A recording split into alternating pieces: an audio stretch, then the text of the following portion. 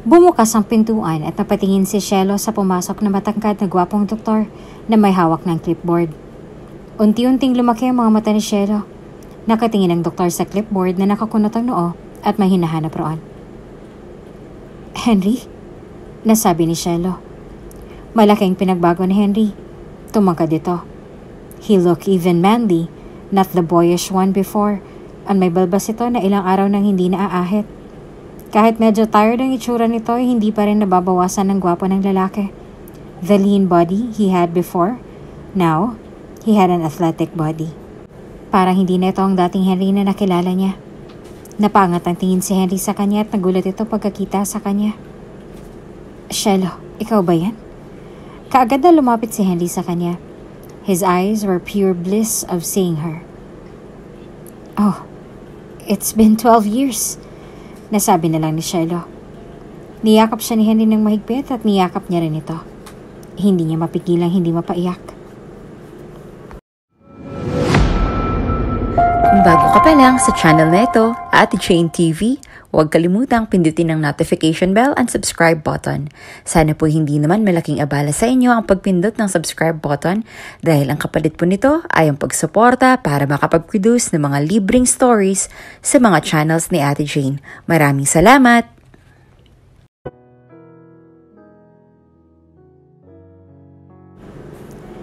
Hapon na nang pumasok si Shelo sa loob ng sasakyan at kagad na sinarado ng driver ang pintuan niya.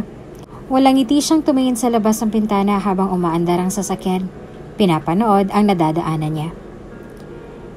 Miss, may pupuntahan po ba kayo bago umuwi sa inyo? Tanong ng driver sa kanya. Wala siya sa mood na pumunta kahit saan ang mga oras na yon. She was tired that day, wanting to sleep and not thinking anything about school. Wala, Kuya Mark. Sagot ni Shiloh na hindi inalis ang tingin sa labas. Kaya lumiko sa daanan ng sasakyan papunta sa direksyon ng kanilang bahay. Hanggang napadako ang tingin niya sa nadaanan nilang binatil yung lalaking medyo madungis na nakahiga sa gilid ng daan. Shallow felt a heart-wrenching pity for the boy. Knowing that he was sick, wala man lamang lumapit na tumulong sa binatilyo. At kahit gusto niyang ipahinto ang sasakyan upang tulungan ito ay natatakot siyang kapag sinabi ng driver ang ginawa niya ay pagagalitan siya ng ama. Takot siya sa kanyang ama kasama ng galit, ngunit mas nananaig ang takot sa kanya. Naalala niya nung minsang umuwi siya ng stray cat, ay ipinatapon iyon ng kanyang ama at pinagalitan siya. Kahit nung makita siya ng ama niya na nagbigay sa nanglilimo sa daan, ay pinagalitan rin siya nito.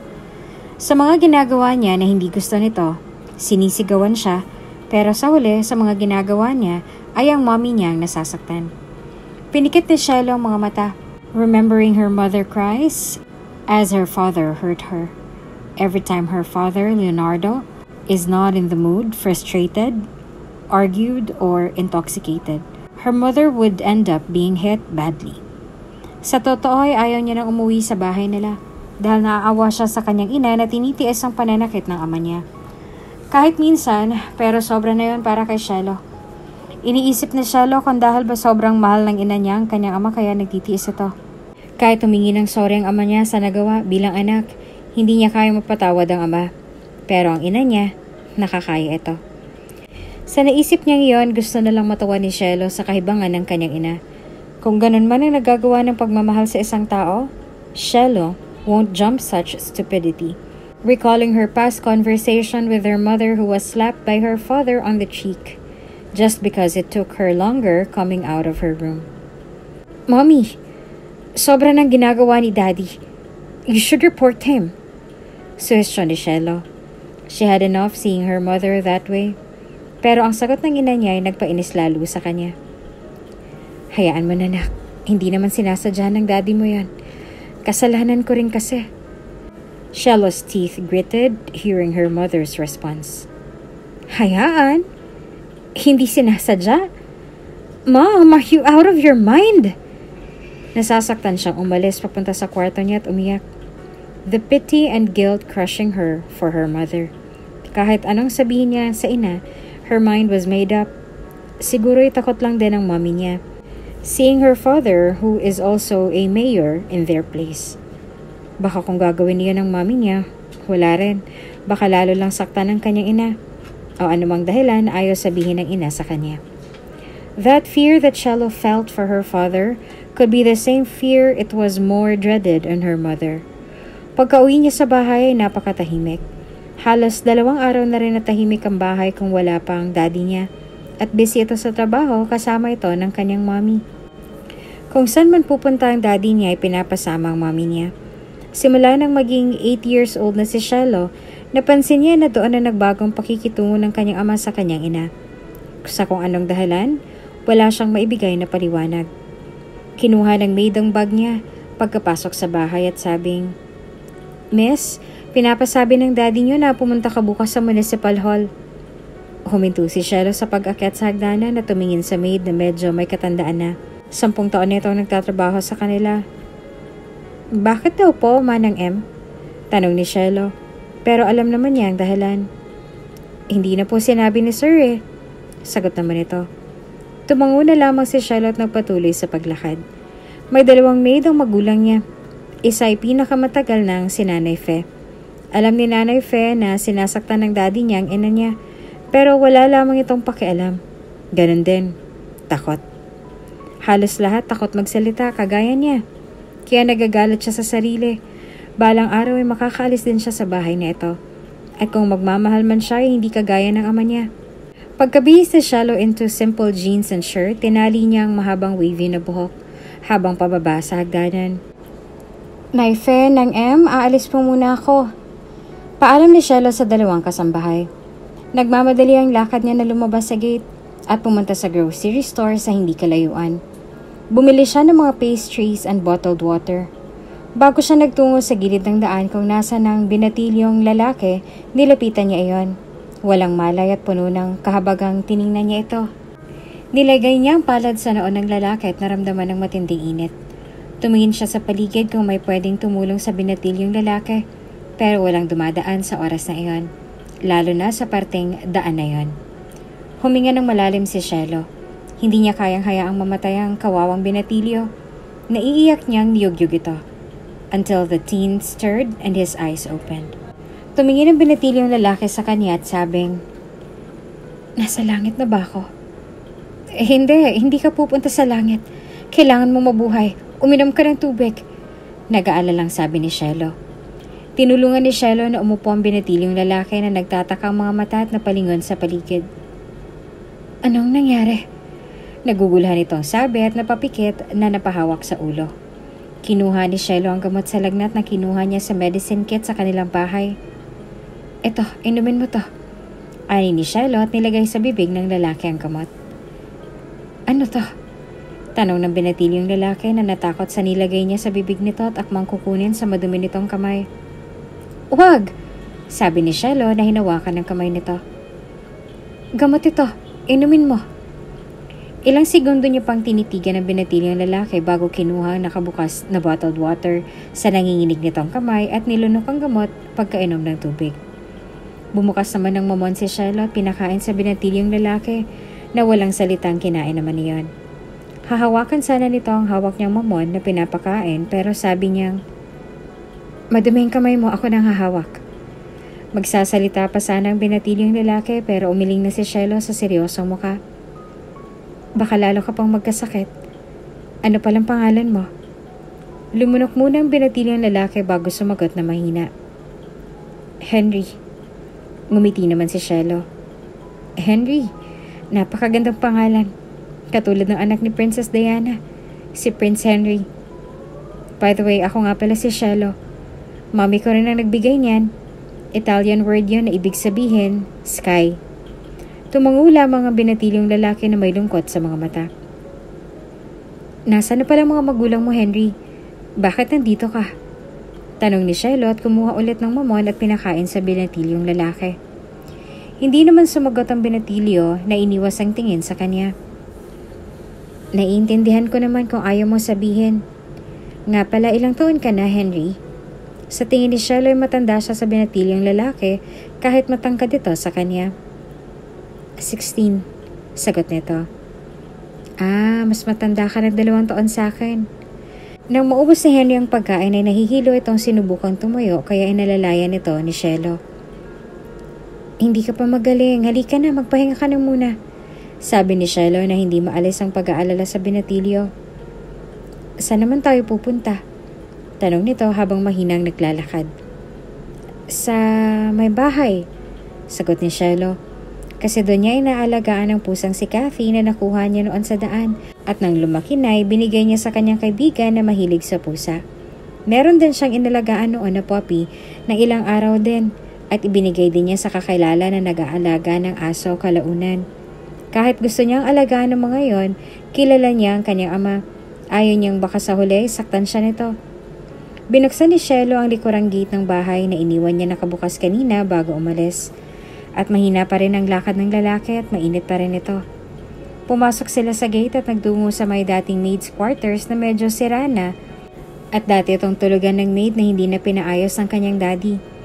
Binuksan ni Shell ang pintuan at pinapasok ang lalaki at pinaupo sa sofa roon na maayos pa naman. Pahinga ka muna Henry ah, babalik ako. Sabi ni Shell at lumabas. Sinarado niya ang gate at naglakad papunta sa malaking bahay ng kanyang ama na medyo may kalayuan sa mismong quarters. Shallow rounded the house hanggang makarating siya sa back door ng bahay na konektado sa kusina. Nang makita na walang tao sa kusina, binuksan niya ang fridge at kumuha roon ng dalawang pack ng gatas, tatlong bottled water, mga prutas na sinilid niya sa eco bag, kasama ng bread at kumuha rin siya ng kakainin na nakita niya sa loob ng fridge. Iniwan niya ang kinuha sa labas ng back door at nagtungo sa kwarto niya. Kumuha siya ng unan at blanket na hindi niya na nagagamit. Pagkaalis niya sa room ay nagtataka na patingin si Nanay Fe sa kanyang daladala. Para sa niyang unan at blanket, Shell? Tanong ni Nanay Fe. Ah, uh, itatapon ko po, Nanay Fe. Pagsisinungaling niya. Umiling naman si Nanay Fe nang umiti. May inaalagaan ka na namang hayop at doon ka matutulog sa quarters, ano? Iniwas ni Shell ang tingin kay Nanay Fe sapagkat kilala siya nito. Pero kahit alam ni Nanay Fe ang pag-aalaga niyang iyon sa aso't pusa, ay hindi ito nagsusumbong sa daddy niya. Umiling na lang si Shelo. Napakunot naman ang noon ni Nanay Fe. Nanay Fe, huwag mo pong sabihin sa iba lalo na sa mga magulang kong ginawa ko po ha. At kinwento ni Shelo kay Nanay Fe ang ginawa. Naku Shell, baka magnanakaw yan. Nasabi ni Nanay Fe at napahawak sa dibdib. Eh, hindi ka pwedeng basta-basta na lang kung sino ang alagaan at papasukin dito sa loob ng bahay. Alam mo hindi mapagkakatiwalaan ng mga tao ngayon. Naife, hindi po siya masama. Pulubi po siya at may sakit. Naaawa naman akong baka mamatay na lang siya. Naife, paliwanag ni Shelo na naiiyak. Kung kayo po sa kalagayan ni Henry, Naife, tutulungan po kita. Hindi po kita hahayaang mamatay. Napangiti naman si Naife sa sinabi ni Shiloh at niyakap ang butihing bata. Simula ng bata pa si Shiloh ay nakikita niya kung gaano kabuti ito sa iba. Kahit sa tuwing kasama niya ito noong mamalengke, sa tuwing may pulube, binibigyan niya ito ng pagkain o mga nangangailangan. Kahit hayop ay wala itong kemeng tumulong. Kahit nga noong may problema siya sa financial situation noon ng anak niya, Ibinigay ni Shelo ang kanyang ipon. Shelo liked her mother. Sige, hindi ko sasabihin sa daddy o mommy mo. Huwag ka mag-alala. Sabi ni Naife na ikinatuwa naman ni Shelo. Bago siya umalis ulit, nagtungo sa quarters. Pagkarating niya ay nakita niyang mahimbing ang tulog ng binatilyo. Inilagay niya na ang daladala sa mesa. Inilagay niya ang likuran ng kamay niya sa noon ng lalaki at napasingap siya ng maramdaman na sobrang init ito. Kita niya kung paanong nanginginig ang binatilyo. Hinaplas niya ang buhok nito at banayad na boses na sabing, Magiging maayos ka din, Henry. Pinainom niya ulit ng gamot para sa lagnatang lalaki every 6 hours na ayon sa butika na pinagbilhan niya at pinagtanungan. Isang araw na rin ang lumipas at medyo may kaginhawaan na siyang nararamdaman nang makitang hindi na mainit ang lalaki. Hindi siya nakatulog kagabi at mabuti na lamang ay wala siyang pasok dahil Sabado at Linggo naman. Uminom ng tubig si Shiloh at aalis na upang bumalik sa bahay bago pa may makapansin lalo na si Emma na hindi siya natulog sa kwarto. Ngunit hindi pa siya nakakaalis ay nakita niyang iminulat ni Henry ang kanyang mga mata. Henry! Tuwang sabi niya at lumapit sa lalaki. Lumuhod siya sa tabi nito. Kamusta? Maayos na bang pakiramdam mo? Tumingin si Henry kay Shelo. Nasa mga mata nito ang pagkalito kung sino siya at nasaan ito. Shelo, naaalala mo? Yung nagbigay sa'yo ng pagkain sa daan. Nakangiting sabi pa ni Shelo pero umiling ang lalaki at mahina ang boses na sabi nito. Nasaan ako? Kinuha ni Shelo ang bottled water na nasa sahig. Binuksan iyon. Uminom ka muna. Alam kong nauuhaw ka na. Sinubukan ni Henry na tumayo, ngunit napabalik ito sa kinahihigaan dahil sa nararamdamang hilo. Hinayaan nito na painumin ito siya ng tubig. Halos maubos naman ni Henry ang laman ng 250 ml na bottled water. Salamat. Sambit ni Henry at bumalik ulit sa pagtulog. Tinitigan ni Shelo ang binatilyo. Marami siyang tanong na gumugulo, lalo na kung sino ito at kung nasaan ang pamilya nito. Nang bumalik naman si Shelo sa kanyang kwarto ay saktong dumating naman ang mga magulang niya. Pinapatawag siya ng kanyang ama. At doon niya naaalala na dapat kahapon ay pupunta dapat siya sa municipal hall. Natampal niya ang noo. Sigurado siyang galit ang kanyang daddy.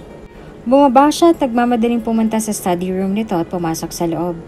Nakaupo ang ama niya na seryosong nakatingin sa isang folder. Dad, nanginginig ang boses na tawag ni Shelo. Huminto ito sa harapan niya. Ilang hakbang ang layo mula sa desk, umangat ng tingin ng ama niya at malamig ang sabing. San ka nagpunta kahapon? Bakit hindi ka pumunta sa office? Lumunok muna si Shelo. Hindi magawang tumingin ng diretso sa ama at nakayuko ang ulo. Sasaktan niyo po ba ako kagaya ng ginawa mo kay mommy? Mahinang sabi ni Shelo. Leonardo's eyes widened and his jaw clenched. No, no, I wouldn't do that. Kailangan ko lang ng paliwanag kung bakit hindi ka nakapunta kahapon. Itinaas ni Shelo ang tingin sa ama. Seeing his impassive expression to her and his jaw clenched, hindi niya alam kung ano ang idadahilan. Shelo, naghihintay ako. Ding sabi ni Leonardo sa anak at bumalik sa binabasa. Alam mo na wala akong pasensya sa ginagawa mo. Nilunok ni Shelo ang bikig sa lalamunan bago nagsalita. Mm, masama pong pakiramdam ko kahapon, Daddy, kaya hindi po ako nakapunta. You should have texted me at least. Hindi na sana ako naghintay na pupunta ka. Next time, Shelo, gamitin mo naman ang utak mo. You're just like your mother. Nasabi ng kanyang ama. Naluluha naman ang mga mata ni Shelo na tumango. Umalis ka na. Sabi lang nito at kaagad na nagmamadaling umalis si Shelo. Sinarado niya ng marahan ng pintuan at nagulat na naroon sa labas ng pintuan ng kanyang ina. Okay lang bang baby ko? Hindi ka pinagalitan ng daddy mo? Tanong ng kanyang ina na lumapit sa kanya. Ayos lang ako, mommy. Sagot ni Shelo at niyakap ang ina. I miss you. I miss you too, baby. Sabi ni Verona sa anak habang hinahaplas ng marahan ang anak. May pasalubong si Mami, tara na. Alam ko matutuwa ka. Bumalik naman si Shalo sa loob ng abandonadong quarters nang makaalis na ang kanyang ama at tulog na ang kanyang mommy. Malaki ang ngiting may dala siyang dalawang slice ng paborito niyang blueberry cheesecake na binili pa ng mommy niya para sa kanya. Nakalagay ito sa isang plasticware sa loob ng eco bag. Nakita niya nakaupo si Henry na kumakain ng biskwit. Napatigil ito sa ginagawa nang makita siya nito. Ah, sorry, nagutom lang. Nako, ayos lang. Para sa'yo yan. Pagpuputol pa ni Shelo sa sinasabi ni Henry. Alam kong gutom ka. May dala pala akong pagkain at cake. Inilapag ni Shiloh ang Tupperware na may lamang pagkain sa couch at sa tabi ng lalaki. Kumain ka na Henry, huwag ka mahiya. Binuksan pa yun ni Shiloh. Pagkaamoy ni Henry sa masarap na pagkain, ang hiyang nararamdaman nito ay biglang nawala at nanginginig na kinuha ang kutsara at nagsimulang kumain. Henry? Mahinang tawag ni Shelo. Nakaupo siya sa armchair ng couch facing him. Napatingin naman si Henry sa kanya. May problema po ba? Nagtataka at nagdadalawang isip na sabi nito.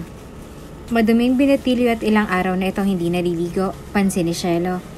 At hindi tulad ng pulubing nakikita niya, maayos ang damit ng lalaki yun nga lang ay madumi pati ang mukha nito at magulo ang medyo may kahabaang kulay lupa ng mga buhok. May tanong nga pala ako. Tumigil ito sa pagkain. Huwag kang tumigil, kumain ka lang, Henry. Sabi ni Shelo. Ano pong tanong ninyo? Sabi ni Henry na hindi na bumalik sa pagkain, nakatingin lang ito sa kanya. Anong nangyari sa'yo? Nasaan ang pamilya mo? Tanong ni Shelo na nakatingin sa mga kulay hazelnut nitong mga mata. Umiwas ang tingin si Henry na sumandal sa armchair ng couch. May lungkot sa mga mata nito na nakaapekto kay Shelo. May sariling pamilya ng mama ko nang makapag-asawa ng lalaki na medyo may kaya. Ah, tuwa ko noon dahil si ideya na may magiging ama na ako. Pero nang inuwi ako ni mama sa bahay ng asawa niya, nagalit ang lalaki at pinalayas ako. Malungkot na sabi ni Henry na pilit ang umiti. Nakaramdam tuloy lalo ng awa si Shelo sa buhay ng binatilyo. Hindi ka ba mahal ng mama mo? Bakit hinayaan ka niya na paalisin ka? Bigla namang tumihimik si Henry na tumingin sa gilid nito. Ilang segundo pang lumipas bago ito muling nagsalita. Hindi ko alam. Simula nung pinanganak ako, palagi na lang naglalasing ang mama ko.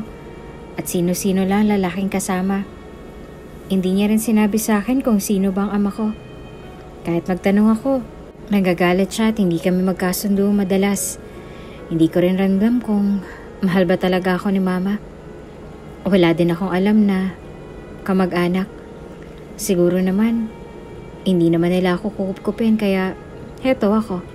Nagpalaboy-laboy. Kahit anong trabahong pinasok ko basta kaya ko at marangal. Lungkot pala ng buhay mo, Henry. Ang lungkot ng mga buhay natin, ano? Nasabi pa ni Shiloh tumingin ng malalim. Hmm, we're both unlucky at some point pero sa'yo, hindi mo malaman na kilala ang ama mo at hindi ka mahal ng nanay mo. Sa akin naman, mahal ako ni mommy pero hindi ni daddy. Ang swerte mo nga eh kasi may mga magulang ka pa at kumpleto kayo. So anong malungkot doon? Tas hindi ka naman nagugutom kasi mayaman kayo. Pwede mo bilhin lahat ng gusto mo. Sabi ni Henry na may inis sa boses. hindi mo kasi alam. Nasabi na lang ni Shelo. Ah, siguro. Sorry kung nahusgahan kita. Naalala ko yung sabi pa ni Mama. Huwag daw humusga kung hindi mo alam ang buong istorya. Wika ni Henry at gumiti. Kaya napangiti si Shelo sa sinabi ng binatilyo. Tatlong araw ang lumipas hanggang tuluyan nang gumaling si Henry. Natutuwa si Shelo dahil may kasama siya at nasasabihin na kung ano ang problema niya. Naintindihan naman siya ni Henry at naging magkaibigan sila kalaunan. Malaking pasasalamat ni Henry kay Shelo sa ginawa nito at ayaw na nitong maging pabigat pa. Sobrang nahihiya na siya sa ginawa nito. Nakaupo sila sa couch habang nanonood ng movie sa laptop ni Shelo. Gabi na at kakatapos ng kumain ni Henry. Shelo? Tawag ni Henry kay Shelo na busy sa pagkain ng popcorn na ang mga matay nakatutok sa screen. Oh, bakit Henry? Tanong ni Shelo pero hindi binalingan ng tingin ng kaibigan. Kailangan ko nang umalis. Halos isang linggo na ako dito. At saka magaling naman ako, sabi ni Henry. Shallow's head turned at Henry, her eyes wide open. Hindi, hindi ka pwedeng umalis, sabi ni Shiloh. Pero yan ang kailangan, Shiloh. Ang laki ng pasasalamat ko dahil sa ginawa mo. I owe you my life. Balang araw, may babalik ko rin ang kabutihang ginawa mo. Ani ni Henry. Puno naman ng takot ang mga mata ni Shelo. Takot na mawala ang nag-iisang kaibigan na nakikinig sa kanya at nasasabihan niya ng kanyang mga problema. Ayaw niya mawala ang kaibigan. Magiging malungkot talo ang buhay niya. Uminit ang mga mata ni Shelo tuluyang bumagsak ang luha sa mga mata niya na ikinabigla naman ni Henry. Shelo, saan ka titira niyan, Henry? Sa lansangan. Kung pwede ka naman dito magstay. Hindi ba tayo magkaibigan? Sino na lang ang kakausapin ko? Sino makikinig sa akin kung wala ka na? Sunod-sunod na tanong ni Shiloh na naglalandas ang luha sa mga mata. Andy, pwede ka namang manatili dito nang walang makakaalam. Huwag mo naman akong iwan. Nagmamakaawang boses ni Shelo. Nang makita ni Henry ang reaksyon ni Shelo ay naaawa siya para sa kaibigan. Gustuhin niya mang umalis, hindi niya kayang iwan ito. Pinahid ni Henry ang luha sa mga mata ni Shelo at umiti. Sige, hindi na muna ako aalis, kaya tumigil ka na dyan sa pag-iyak. Talaga? Galgal ang boses sa tanong ni Shelo. Tumango si Henry at inakap siya ni Shelo. Eh, thank you, Henry. Mananatili ng best friend ko. Natawa si Henry sa narinig at masaya na nakilala niya si Shelo. Pumasok na sa loob ng bahay si Shelo mula sa back door. Wala ang mga magulang niya maliban sa maid na nasa kusina at nagluluto ng pagkain. Halika, Henry. Pagpapasok ni Shelo sa kaibigan. Kinabahan naman si Henry na baka may makakita sa kanya kaya nagdadalawang isip siya na pumasok. Pero hinila siya ni Shelo papasok at umakyat sila sa hagdanan. Shelo, baka may makakita sa akin. Natatakot pa na sabi ni Henry na lumingon-lingon sa paligid. Huwag kang mag-alala, sabi ni Shelo na may ngiti sa labi. Hanggang marating nila ang kwarto ni Shelo. Kinuha ni Shelo ang damit na binili niya kahapon para sa kaibigan. Maligo ka, Sabay abot ni Shelo ng damit. Andun ang bathroom.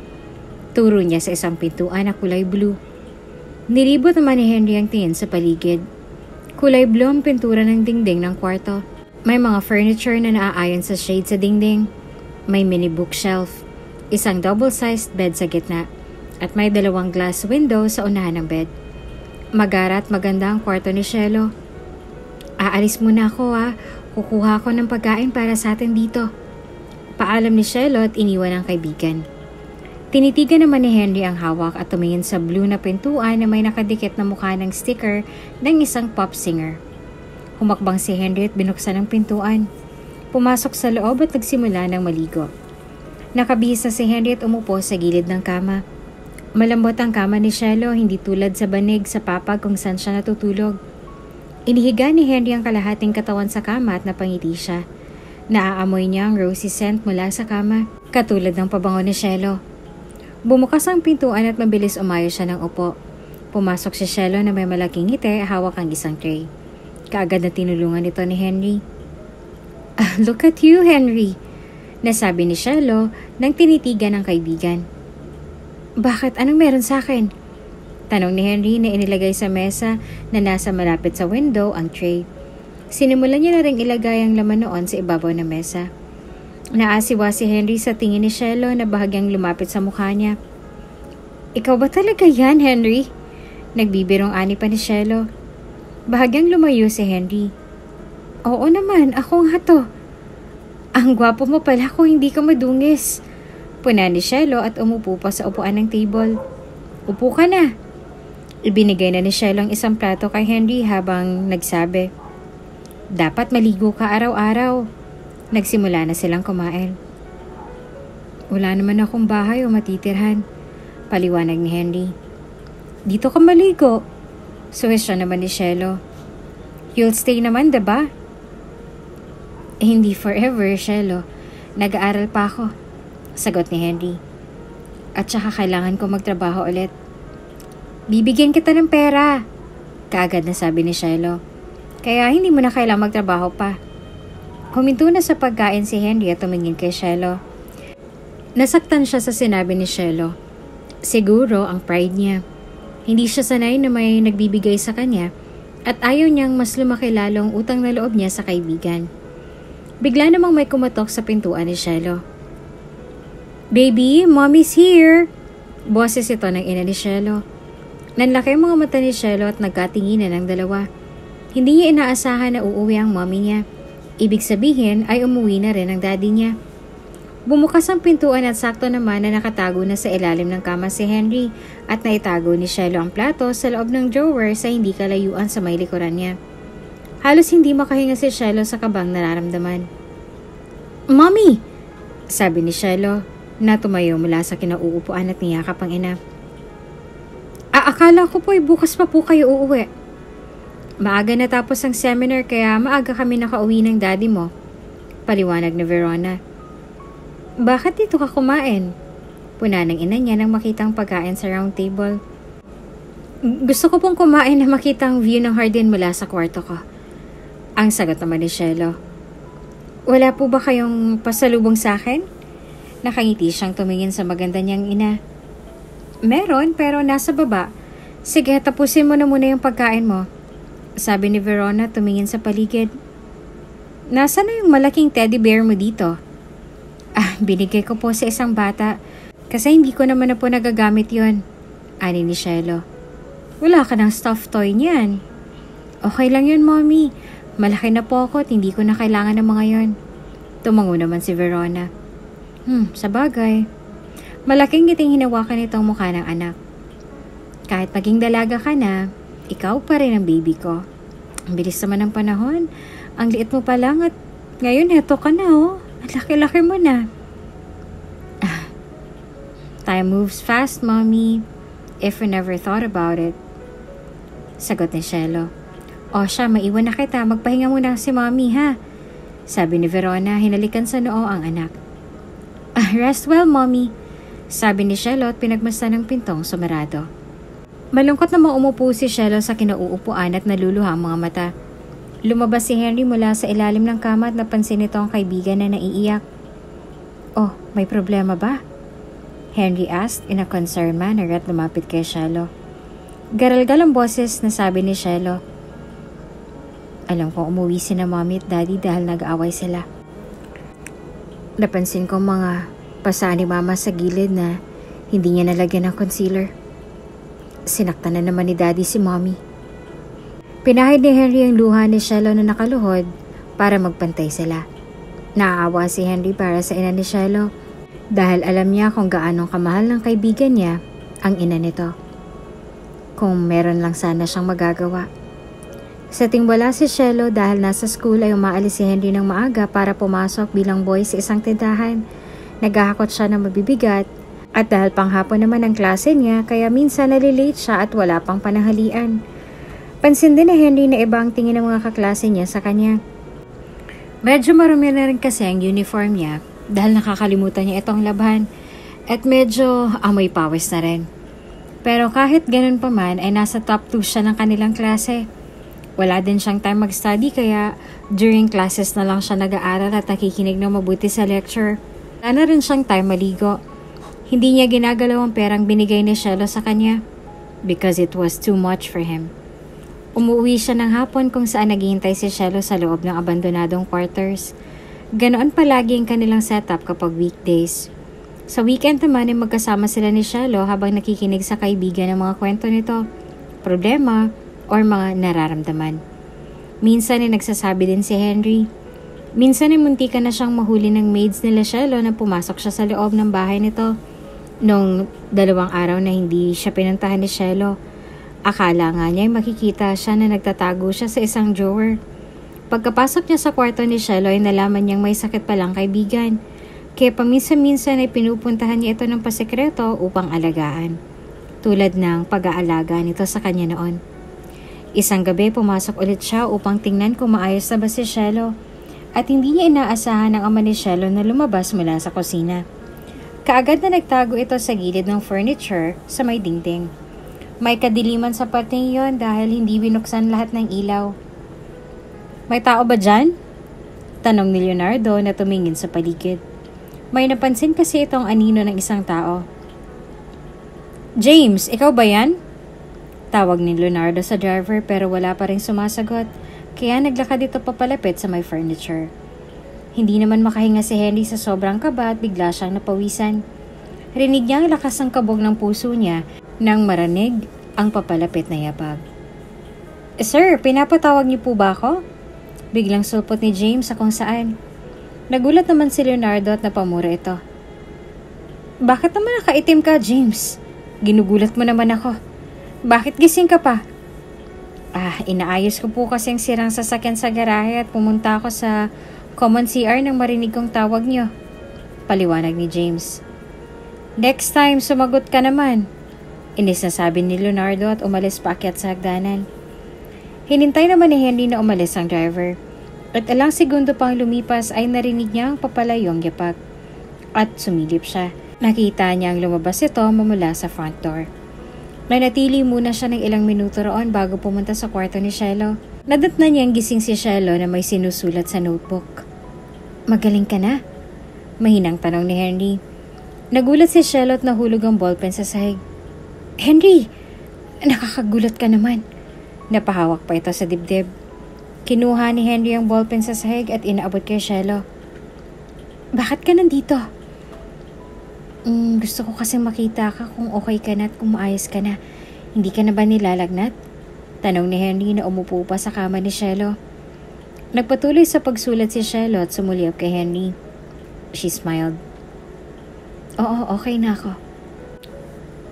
Thanks for checking and for taking care of me.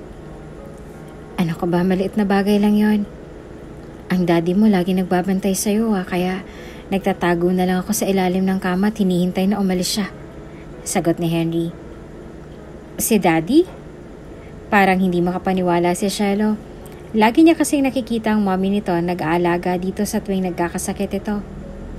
Oo, sagot ni Henry at humiga sa kama ni Shelo. Binali niya ang tingin sa ginagawa nito. Anong ginagawa mo? Nagsusulat sa diary ko. Palabas na si Shelo sa school gate nang makita niya si Henry na nagmamadali ang paglalakad sa tabi ng daan. Wearing a uniform na medyo madumi. Henry? Tawag ni Shelo na lumapit sa lalaki. Kinuha niyang panyo mula sa bulsa nang makita na maduming mukha nito. Napatingin naman si Henry kay Shelo na papalapit dito. Shelo, nakangiting sabi ni Henry na huminto. Saan ka galing? Bakit ang dumi mo na? Tanong ni Shelo. Ay ano, may dumi ka pa sa mukha. Kinuha naman ni Henry ang puting panyo. Madudumihan to. Ano ba gamit ng panyo? Tumaas naman ang kilay ni Shelo. Saan ka nag-aaral? Sa West Central School. Dumaan lang ako dito para hindi malate. Paliwanag ni Henry. May dumi ka pa sa pisngi mo. Turo ni Shelo sa pisngi nito. Pinunasan naman ni Henry pero hindi natatama nito. Kaya si Shelo na lamang ang nagpunas dito. Kumain ka na ba? Oo. Ang putla mo sa nakakain ha. Hindi ka nag-breakfast ano? Tanong ni Shelo pero may bread naman at milk sa abandonadong quarters kaninang umaga at naghatid pa siya doon ng pagkain. Pero sa pagmamadali niya, hindi niya na napansin kung naroon ba si Henry. Nakalimutan ko. Sabi ni Henry na hindi na makatingin ng diretsyo sa kanya. Hinawakan naman ni Shiloh ang kamay nito at hinila papunta sa may karinderya sa hindi kalayuan. Hindi naman napansin ni Shiloh na ang mga kaibigan niya at ilang mga kaklase ay napapatingin na sa kanya at sa kasamang maduming lalaki. They were gossiping behind her back. Meron ka bang hindi sinasabi sa akin? Tanong ni Shiloh na nilapag ang in-order na pagkain sa mesa sa harapan ng lalaki bago umupo ito sa harapan nito. Kumain ka na. Habang kumakain si Henry ay inamin nito na nagtatrabaho siya sa umaga kaya maaga siya kung umalis dahil pang afternoon pa ang klase niya at hindi niya kayang gamitin ng pera na hindi sa kanya. Nasaktan naman si Shiloh pero hindi niya inamin kay Henry. Ganito na lang Henry. Dadaan ka dito at sasabay tayo ng pagkain since ayaw mo namang gamitin ng pera na binibigay ko sa'yo. Shiloh, Shiloh pouted. Basta yun na, wala nang pero-pero. Henry sighed and smiled. Mm, sige, kung yan ang gusto mo. Ngumiti naman ng malaki si Shelo. Kumain ka na. Sa mga araw na nagdaan ay mas lalo pang naging close ang dalawa. Isang umaga ay napatanong ang kaibigan ni Shelo kung sino bang kasama niya na binatilyo. Ah, best friend ko, si Henry. Sagot ni Shelo. Bakit? Tanong ni Shelo kay Betty. Ah, ganun pala. Mabait ka talaga, Shelo. Kinakaibigan mo yung mga madudumi. Komento ni Betty. Ingat ka at baka masamang tao yan. Hindi nagustuhan ni Shelo ang sinabi ni Betty. Hindi sila close ng muse ng kanyang klase kahit magkaibigan sila. Mababa lang kasi ang tingin nito sa ibang tao. At least mabait si Henry at tunay na kaibigan. Hindi mo alam ang dahilan kung bakit ganun siya. Kasi mayaman ka, ano bang alam mo? You only judge people by looks. Mahabang litanya ni Shelo. Umasim tuloy yung mukha ni Betty sa narinig. Anong sinabi mo, Shelo? Hindi makapaniwala na tugon naman ni Shelo. You heard it, and it's the truth. Diin sabi ni at iniwan ang kaibigan na pumasok sa loob ng classroom. Dalawang taon nang lumipas, natapos na si Henry sa K-12 at sa graduation ay naroon mismo si Shelo na may dalang bouquet ng flower. Hindi naman inaasahan yun ni Henry na pupunta si Shelo. Lumapit si Shelo na malaki ang mga ngiti. wearing a blue dress. Congratulations sa valedictorian kong kaibigan! Masayang bati ni Shelo na ibinigay ang bulaklak. I love your inspiring speech. Kanina pa ako iyak ng iyak. Eh, hindi kita nakita. Akala ko hindi ka pumunta. Nasabi na lamang ni Henry. Salamat. Salamat kasi nandito ka. Mahigpit na niyakap ni Henry si Shelo na tila ba hindi sila nagkita kahapon. Salamat for letting me stay and helping me, Shelo. You're most welcome. Sabi ni Shelo na naluluha. Nauna ka nang graduate sa akin. Anong plano mo niyan? Eh, hindi ko pa alam. Baka magtrabaho muna ako. Sagot ni Henry. Isasauli ko muna tong graduation gown. Eh, sige, maghihintay ako. Um, I'll treat you. At may gift din pala ako sa'yo. Sabi naman ni Shelo. Pinagmasdan ni Shelo si Henry na naglakad. May mga kaklase ito na nag-congratulate sa kanya. Akala ni Shelo ay papuntang ina ni Henry. Pero alam niyang malungkot ito dahil he was expecting na dadalong ina ngunit hindi pala. Gusto ni Shelo na maging masayang graduation nito. Naisip niya na sa loob ng dalawang taon na lumipas, malaki nang pinagbago nilang dalawa. Lalo na kay Henry na hindi na madumi dahil tinulungan niya magtrabaho sa tita niya bilang cashier sa convenience store nito. Minsan na lang silang magkita dahil naging busy sila sa pag-aaral lalo na si Henry na mag-OJT ito sa isang healthcare center dahil sa pangarap nito ay maging doktor. Kung may magagawa lang sana siya na pag-aralin si Henry sa college, kung pareho na lang sana sila na nasa college ay baka makatulong pa siya. Pero nasa grade 10 pa lang kasi siya. May dalawang taon pa bago siya makapunta sa kolehiyo. Pagkabalik ni Henry ay umalis sila at pumunta sa mall upang mamasyal. Binalhan din ni Shella si Henry ng isang watch sa una hindi pa tinanggap ito ni Henry pero sa pagpipilit ni Shelo ay tinanggap na rin ito ng lalaki. Hapon na nung pumunta sila sa amusement park at sumakay sa merry-go-round. Panay-tawanan pa silang dalawa habang nagkukwento si Shelo sa mga nakakatuwang nangyari sa kanyang linggong iyon. Sumakay din sila sa roller coaster at halos mamutla naman si Henry dahil takot pala ito sa matataas. Hindi man lang sinabi nito kay Shelo. Pagkababa nila ay nagpunta si Henry sa may basurahan para sumuka. Oh, hindi mo sinabi sa akin na takot ka pala. Natatawang sabi ni Shelo. Hinawakan niya ang likod ni Henry at marahang hinaplos. Ayoko kasing malungkot ka kapag sinabi ko. Alam ko na matagal mo nang gusto makasakay sa roller coaster. Paliwanag pa ni Henry. Kinuha naman ni Shelo ang panyo at pinunasan ng basa sa may labi nito. Maiintindihan ko naman yon. Pero yung reaksyon mo kanina nung tumili ka? Tawa ni Shelo at sumimangot naman si Henry. Huwag mo nga akong pahiyain pa. Namumulang pisking sabi ni Henry. Alam mo, ang cute mo kapag namumula ka, Henry. Pag-amin naman ni Shelo, tinawakan ng kamay nito. Tara, marami pa tayong rides na susubukan. Ngumiti naman si Henry. Makita niya lang na masaya mukha ni Shelo. He wanted to make Shelo happy. And if only they could stay like this forever. Tinago ni Henry ang lungkot sa mga mata. He want more than sa pagiging magkaibigan nila. Pero ayaw niya masira iyon dahil sa nararamdaman niya na matagal niya nang tinatago dito. Paano naman siya magugustuhan ito? He had nothing. Isang gabi nakahiga silang dalawa sa picnic blanket sa likod ng abandonadong quarters habang pinagmamasdan ng mga bituin. Isang buwan na rin ang lumipas ang makagraduate si Henry. Naghahanap na siya ng trabaho at hindi niya alam kung paano sasabihin kay Shelo na kailangan niya nang umalis. Alam niya masasaktan ito and it was the last thing he'll do for her. Henry? Tawag ni Shelo na humiga ng patagilid upang harapin si Henry. Alam ni Shelo na may iniisip si Henry, kanina pa malalim ang iniisip nito. Hmm? Baling na tingin naman ni Henry sa kanya. Penny on your mind? Hinawakan ni Shelo ang malambot nitong buhok at marahan iyong hinaplos. Wala. Pagsisinungaling ni Henry. Sige na, sabihin mo na sa akin. Sabi ni Shelo na umayos naman ang upo na pinagmasdan nito pero patuloy niya hinahaplos ang buhok nito. Wala nga. Nakangiting sabi ni Henry at binaling ang tingin sa kalangitan pero pansin ni Shelo na namumulang mukha nito. Sige na, sabihin mo na sa akin, Henry. Pansin ko nga, hindi ka na umuwi dito. Bakit? Tanong ni Shelo at kumunot naman ang noon nito. Hindi niya alam kung bakit. Madalang na talaga sila kung magkita. Iniisip niya na baka may girlfriend na si Henry at ayaw lang sabihin ito sa kanya. She will be happy for Henry for as long as he's happy. Kahit masakit para sa kanya. She's too young to fall in love. But she had fallen for someone that shouldn't be. Lalo na kaibigan niya pa. Pinikit ni Henry ang mga mata na nakangiti. Anong gusto mo sabihin kung wala? May problema ka ba? Ilang segundong katahimikan na natili sa kanila bago nagsalita si Shelo. May girlfriend ka na ba kaya hindi ka na nagsistay dito? Mahinang tanong ni Shelo. Binuka naman ni Henry ang mga mata tumitig kay Shelo. There was sadness in her eyes and they felt guilty.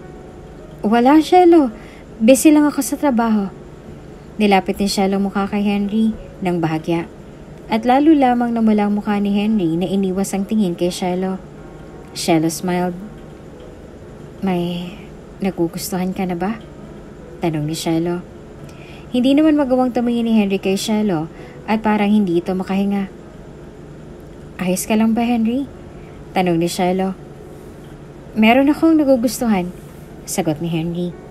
Sa narinig ni Shiloh ay parang nasaktan ang puso niya. Sino? Nais niyang malaman. Kahit natatakot siya dahil masakit ang katotohanan kapag malaman niya. Hindi ko pwedeng sabihin kung sino. Sabi ni Henry na hindi makatingin kay Shiloh. Hindi ako titigil kapag hindi mo sinabi kung sino. Pag-insist pa ni Shiloh. Bakit ikaw ba may nagugustuhan ka na ba? Tanong ni Henry na hindi naman sinagot ang tanong ni Shelo. Bakit hindi ka makatingin sa akin? Tanong ni Shelo. Meron. Ang lapit mo kasi. Amin ni Henry. Sino? Sulyap ni Henry kay Shelo na nakangisi. May masama ka bang binabalak, Shelo? Pabirong ani ni Henry na bahagyang tumawa. Gustong makita ni Shelo ang reaksyon ni Henry kapag mas nilapit pa niyang mukha rito. And seeing his face red, she softly laughed.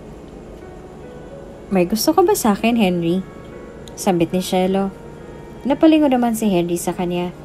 Hindi ito sumagot at nakatitig lang kay Shelo na papalapit ang mukha. Shelo. May gusto ako sa'yo. Amin ni Shelo na namulang mukha at nilapat ang labi sa malambot na labi ni Henry. Hindi yan inaasahan ni Henry pero napangiti siya at hinawakan ng ulo tumugon sa halik nito as he said between their kisses. Gusto dun kita. Simula ng gabing yon ay palihim ang kanilang relasyon. Hindi naman masabi ni Shiloh sa magulang niya dahil kilala niya ang mga ito at hindi ito papayag. Pumasok si Shiloh sa mall kung saan naghihintay si Henry. Pagkakita niya sa nobyo ay patakbo siyang lumapit dito. Anong balita? Ano bang sasabihin mo sa akin? Tanong ni Shiloh, sneaking her arms to his. Kakatapos lang ng exam nila when she received a text message from Henry na may sasabihin itong magandang balita. Kanina habang pababa ako sa escalator may lumapit sa akin na lalaki. Tinanong ako kung nanay ko ba daw si Rosalinda. Yung lalaki pala ay kapatid ni Mama. Laking tuwa niya nung makita niya ako. Matagal na daw niyang hinahanap si Mama. Sagot ni Henry. Magkamukha daw kami ni Mama pero halo daw sa ama ko. He know my father pero hindi niya sinabi sa akin kung sino. Pumunta sila sa Jollibee para kumain habang kinwento ni Henry ang nangyari. Hindi naman maibsan ng tuwa nito at masaya si Shelo sa nangyari na makita ang kapamilya ng ina nito. Tapos sabi ni Tito ay pag-aaralin niya daw ako. Sabi ni Henry at napahinto naman sa pagkain ng spaghetti si Shelo. Anong sagot mo? Tanong naman ni Shelo. Hindi ko pa sinasagot si Tito. Sabi ko ay pag-iisipan ko muna. Nais niya raw akong umuwi ng Cebu para doon mag-aral. Sagot naman ni Henry. Sa narinig ni Shelo ay natakot siya na mapalayo kay Henry. Eh, hindi ako aalis kung ayaw mo. Sagot ni Henry. Shallow pressed her lips tight. Ayaw niya maging selfish pero sa ginagawa niya ay mas nagiging selfish siya kagaya ng ama niya sa kanyang ina. Umiling si Shallow. It's an opportunity, Henry. Tanggapin mo alok ng tito mo. Alam kong gusto mo rin makita ang kapamilya mo doon. Tumingin si Henry kay Shallow. S- sigurado ka ba? Hindi. Pero kapag pinapanatili kita dito, hindi mo makakamit ang pangarap mo. Gusto ko maging masaya ka, Henry. That's how I love you. Sagot ni Shiloh pero namumulang mga mata niya dahil masakit iyon para sa kanya. Nasanay siya na naroon si Henry at mahal na mahal niyang binata. Ngumiti si Henry at hinawakan ng pisngi ni Shiloh at pinahid ang luhang kumalas mula rito. Gusto kitang maging masaya, Shiloh. Ayoko makita kang malungkot at nasasaktan. Hinawakan ni Shiloh ang kamay ng lalaki. Sinalubong ang mga tingin nito. If you want me to be happy, then follow your dreams. Makikita naman tayo. Kahit long distance ang relationship natin, two years lang naman. Kasi pupunta din ako sa Cebu. Doon ako mag-aaral kung nasan ka. Ilang sandali pang pinagbasa ni Henry si Shiloh. He wanted a good life for her. And Shiloh was right. Kung mananatili siya, hindi rin niya makakamit ang gusto niya. At hindi rin siya tatanggapin ng magulang nito dahil wala siyang natapos at maibibigay na magandang buhay sa taong pinakamamahal niya. Kinabukasan ay kinausap ni Henry ang kanyang tito Jared sa telepono at sinabing tinatanggap niya na ang offer nito. Pero hindi niya alam kung paanong sasabihin kay Shelo na in three days ay aalis na siya. Napaupo siya sa loob ng couch ng abandonadong quarters. Tinititigan niya ang buong lugar. He will miss her so much. Madilim na. Habang inihintay niya si Shelo ay umulan. He received a text message sa keypad phone niya galing kay Shelo na nasa kwarto siya at hindi siya mapuntahan dahil malakas nga ang ulan. Henry replied na pupuntahan siya nito dahil may sasabihin siya. Na-receive niya ang message kay Shelo na walang mga magulang nito at umuwi ang isang maid sa kanila, kaya si Nanay Fel ang naroon at maghihintay ito. Walang payong si Henry kaya tumakbo siya papunta sa back door. Binuksan niya ng marahan at nagmamadaling umakyat sa hagdanan at pumasok sa kwarto ni Shelo na nagsusulat sa diary nito. Lumingon si Shelo sa kanya at kaagad itong kumuha ng towel at ibinigay sa kanya. Sana sinabi mo na wala ka palang payong. Ako na lang sanang pumunta. Ayan tuloy, basa ka na. Ayos lang, sagot naman ni Henry. Maligo ka na muna para hindi ka sipunin. May damit ka naman sa drawer na naiwan dyan. Wait. Ani ni at kinuha ang damit at ibinigay dito. Naligo na muna si Henry. Iniisip niya kung paanong hindi ganong kasakit at biglaan ang sasabihin niya kay Shelo. Hindi niya kayang iwanan ng babae pero kailangan niya para sa kanilang future. Pagkalabas niya ay nakasuot na siya ng damit. Naroon pa rin si Shelo sa study table nito at nagsusulat. Lumapit siya at niyakap ito mula sa likuran, resting his strong chin sa balikat nito. Nilalamig ka ba? Tanong ni Shelo habang patuloy sa pagsusulat. Medyo. Pero hindi na makakapaghintay ang sasabihin ko sa'yo, sabi ni Henry. He'll miss her sweet rosy smell that he loves and her. Tumigil sa pagsusulat si Shelo. Oh, ano palang sasabihin mo? Tumayo si Shelo at umupo sila sa gilid ng kama. Hinawakan niya ang malamig na kamay ni Henry. Sinabihan ko na si Tito na pumapayag na ako. Pero in three days ay aalis na ako. Sabi ni Henry. At sa narinig ni Shelo ay nagulat siya. Ha? Bakit ang bilis naman, Henry? Eh, hindi pa ako handa na aalis ka na. Sa isiping mawawala na ito sa loob ng tatlong araw ay sumikip ang dibdib niya at nahihirapan siyang tanggapin iyon. Nais niya pa sana ng mahabang oras kasama ito. Eh, yun ang sabi ni Tito eh kasi umuwi na siya sa Cebu. Sagot ni Henry. Magkakausap pa naman tayo sa phone, Shelo. Naisip ko rin na Itong makakabuti para sa future nating dalawa at para matanggap ako ng mga magulang mo.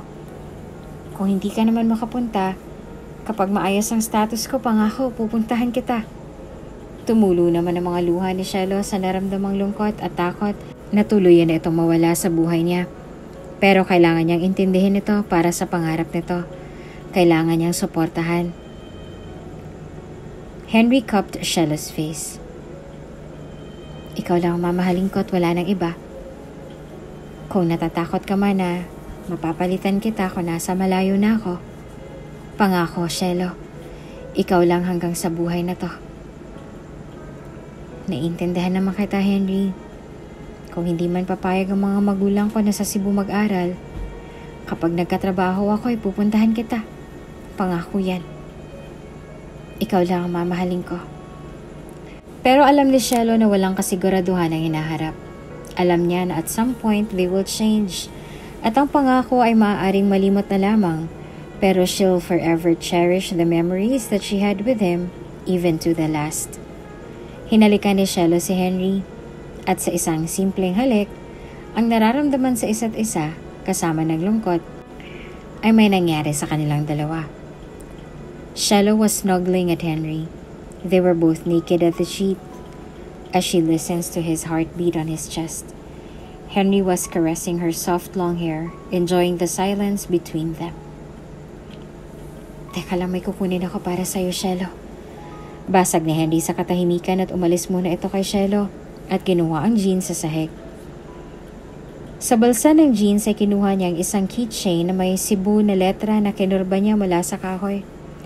Bumalik si Henry sa kama at niyakap si Shelo. Inabot niya ang keychain.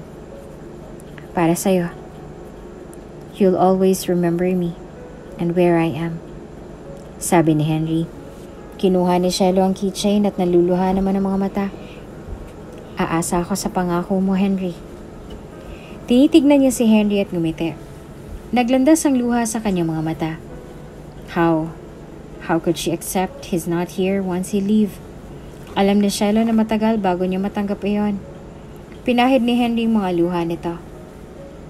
I will, Shiloh. Sambit ni Henry at hinalikan sa noo ang babae. Hanggang sa bumaba na sa ilong at sa labi. I will. Samantalang hindi naman alam ng dalawa na umuwi na palang ama ni Shelo dahil naiwan ang documents nito sa study table. Pagkapasok ni Leonardo ay napansin niya mga putik na bakas ng sapatos sa marble floors papunta sa hagdanan. He was curious, kaya sinundan nito ang footsteps na yon at kumunot noon nito nang papunta iyon sa kwarto ni Shelo. Narinig nito ang boses ng anak at boses ng lalaki. Uminit ang dugo nito sa galit at binuksan ang pintuan. Nagulat naman si Shalo sa biglang pagbukas ng pintuan at nanlaki ang mga mata niya nang makita ang kanyang ama na puno ng galit. Lalo na nang makita ni Leonardo na magkayakap ang dalawa at ang mga damit ay nasa sahig. Dumako ang tingin ni Shelo sa mama niya na napaawang ang bibig. Shelo, sino yung kasama mo? Singhap na sabi ng ina niya. Daddy, magpapaliwanag ako. Pero napasigaw si Shelo nang lumapit ang ama niya at sinuntok si Henry. Naiiyak namang pinigilan ni Shelo ang kanyang ama. Daddy, stop it! You're going to kill him! Leonardo dragged Henry away from the bed, naked. Sinubukang sanggain ni Henry ang suntok ng ama ni Shelo. Sir, magpapaliwanag ako. Hindi natutuloy ni Henry ang sasabihin dahil sa mga suntok nito. Sinubukang pigilan ni Henry ang ama ni Shelo pero dahil malakas ang lalaki ay hindi niya nagawang pigilan ang mga suntok nito. Papatayin kita sa ginawa mo! Paulit-ulit na sabi ni Leonardo. Shelo was crying and shouting and trying to stop her father. Seeing the blood in Henry's mouth, Daddy, please stop it! Leo, stop it! Pigil naman ang ina ni Shelo pero hindi nito mapigil ang pagbubugbog pa ni Leonardo hanggang sa nahimatay na si Shelo at nabagok ang ulo nito sa may gilid ng kama. Kaagad namang dinaluhan ni Verona ang anak habang umiiyak. Leo, si Shelo! Napatigil si Leonardo. Seeing the blood in Shelo, ay natauhan ito. He wrapped the sheet on the bed at mabilis na lumabas sa pintuan carrying his daughter at sinugod nito papunta sa ospital. Pagkagising ni Shelo ay unang hinanap niya si Henry. Mami, Nasaan si Henry? Tanong ni Charlotte bumangon sa pagkakahiga, ignoring the pain in her head. Niyakap naman ni Verona ang anak, namumugto ang mga mata ng ina niya. Hindi ko alam, baby. Kasi pag uwi namin ng daddy mo ay wala na siya sa kwarto. Sagot naman ni Verona. How are you feeling?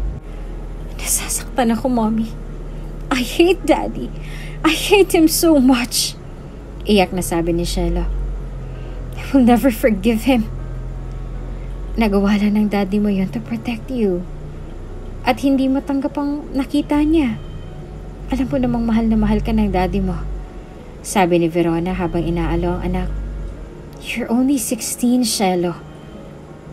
What you did is completely wrong. Hindi niya ako mahal.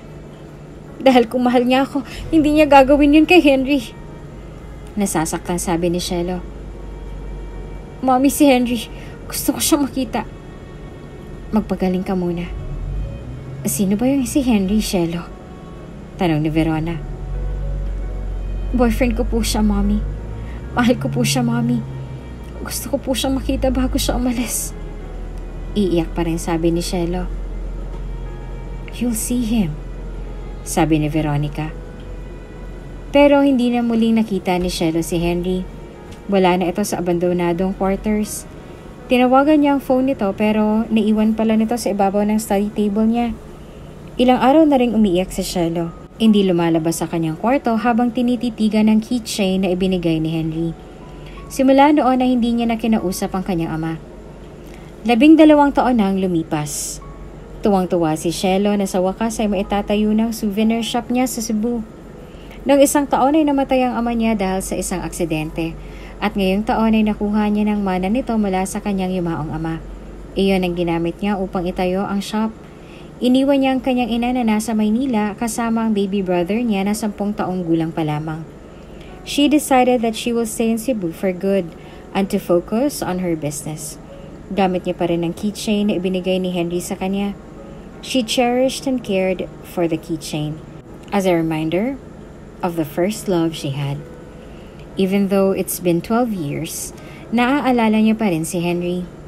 And a question still embedded in her, kung kamusta na nga ba ito. Nangako ito noon na babalikan siya, ngunit lumipat si na Shelo ng bahay ng magulang niya at pinapunta siya sa US upang doon mag-aral ng kolehiyo. Hindi niya alam kung pumunta ba o bumisita ba si Henry sa dating bahay nila. Hindi na rin siya nakapunta sa bahay nila noon. Siguro hindi na tinuloy ni Henry ang pangako nito sa kanya after what her father has done. That even until now, she still couldn't forgive her father. Shello realized that not all promises are meant to be fulfilled. Mostly are meant to be broken. Dahil siya din ay hindi na-fulfill ang pangako nito na si Henry lang mamahalin. She had swore not until seven years ago when she decided not to wait for him anymore. Who knows, may pamilya na rin si Henry. Sadya nga lang talaga na pinagtagpo sila ngunit hindi talaga sila para sa isa't isa. Ngunit kahit ganoon man, masaya si Shello na nakilala niya si Henry. Bumukas ang pintuan ng souvenir shop at pumasok ang isang gwapong lalaki na naka-coat and tie. May dala itong isang bouquet ng bulaklak at niyakap si Shello mula sa likuran habang nilalagay niya ang isang box sa ibabaw ng mesa upang buksan. How are you, hon? Tanong ni Ford. Gumiti si Shello at hinarap ang lalaki. Wrapping her arms around her neck and said, I'm fine, handsome. Mabutit nakadalaw ka. How's your case? Hinalikan siya ni Ford sa labi bago sumagot. It went well. I won the case. Five years na sila ni Ford. Sinagot niya ang lalaki sa graduation nila ng college and they both decided na bumalik sa Philippines at doon magtrabaho. Lawyer si Ford sa isang branch ng private law firm na kilala sa bansa. At sumuporta ang nobyo niya sa souvenir business niya na kahit bago pa lang itinayo ay sikat na sikat na agad pati sa mga tourists. Congratulations! I'm so proud of you, handsome. Sabi ni Shello sa isang malaking ngiti. Hahalikan sana siyang muli ni Ford nang may pumasok na dalawang foreigner sa shop nila. Kumala si Shello sa pagkakayakap sa lalaki at hinarap ang dalawang customers. That night ay nagdinner ang dalawa sa isang mamahaling restaurant.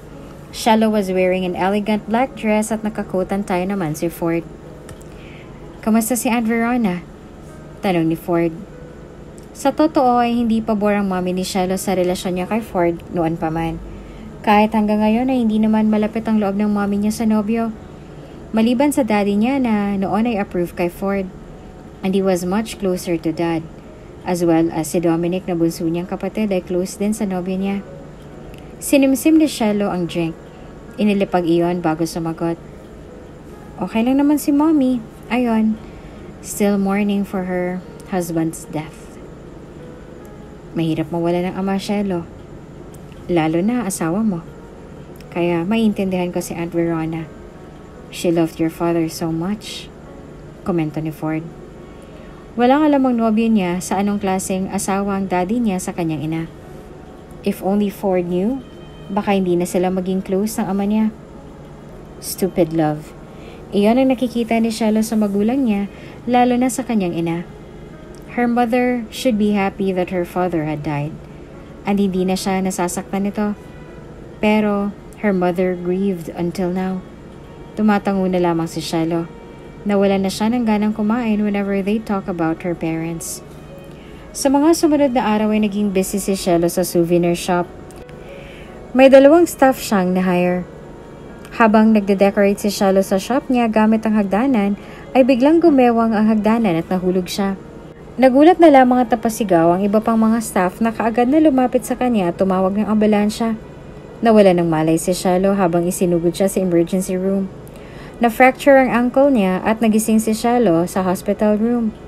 Ang assistant niyang si Amy ang nakita niya pagkagising. What happened, Amy? Tanong ni Shalo.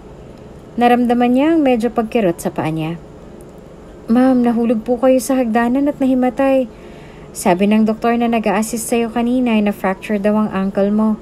Sabi ng doktor ay ire-refer niya daw kayo doon sa specialista na pupunta dito mamaya para tingnan ng mga paa ninyo. Sagot ni Amy na may pag-aalala pa rin sa kanya. Ngumiti naman si Charlotte gumaan ang ginhawa niya nang malaman na hindi naman ganong kalala ang nangyari sa kanya. Tinawagan mo na ba si Ford about sa nangyari sa akin? Tanong ni Shiloh. Yes ma'am pero hindi sinasagot ni sir ang phone niya kaya tinext ko na lang po. Sagot naman ni Amy. Gusto niyo po bang uminom ma'am? O kumain? Hindi pa po kayo nakakapag-lunch. Umiling si Shiloh. Ah, thanks pero hindi pa ako nagugutom, Amy. Bumukas ang pintuan at napatingin si Shiloh sa pumasok na matangkad na gwapong doktor na may hawak na clipboard. Unti-unting lumaki ang mata ni Shiloh. Nakatingin ang doktor sa clipboard na nakakunot ang noo at may hinahanap roon. Henry? Nasabi na lang ni Shiloh. Malaking pinagbago ni Henry. Mas lalo itong gumwapo tumangkad. He looked even manly at hindi na parang totoy unlike before. May balbas na ito na mukhang ilang araw na rin hindi naaahit. Kahit medyo pagod ang itsura nito, ay hindi pa rin nababawasan ang kagupuhan ng lalaki. The lean body he had before is now an athletic body. Parang hindi na ito ang dating Henry na nakilala niya. Napaangat naman ang tingin si Henry sa kanya at nagulat ito pagkakita. Shelo, ikaw ba yan? Kaagad na lumapit si Henry sa kanya. His eyes were pure bliss of seeing her. Oo, it's been 12 years, nasabi ni Shelo. Niyakap siya ni Henry ng mahigpit at niyakap niya rin ito.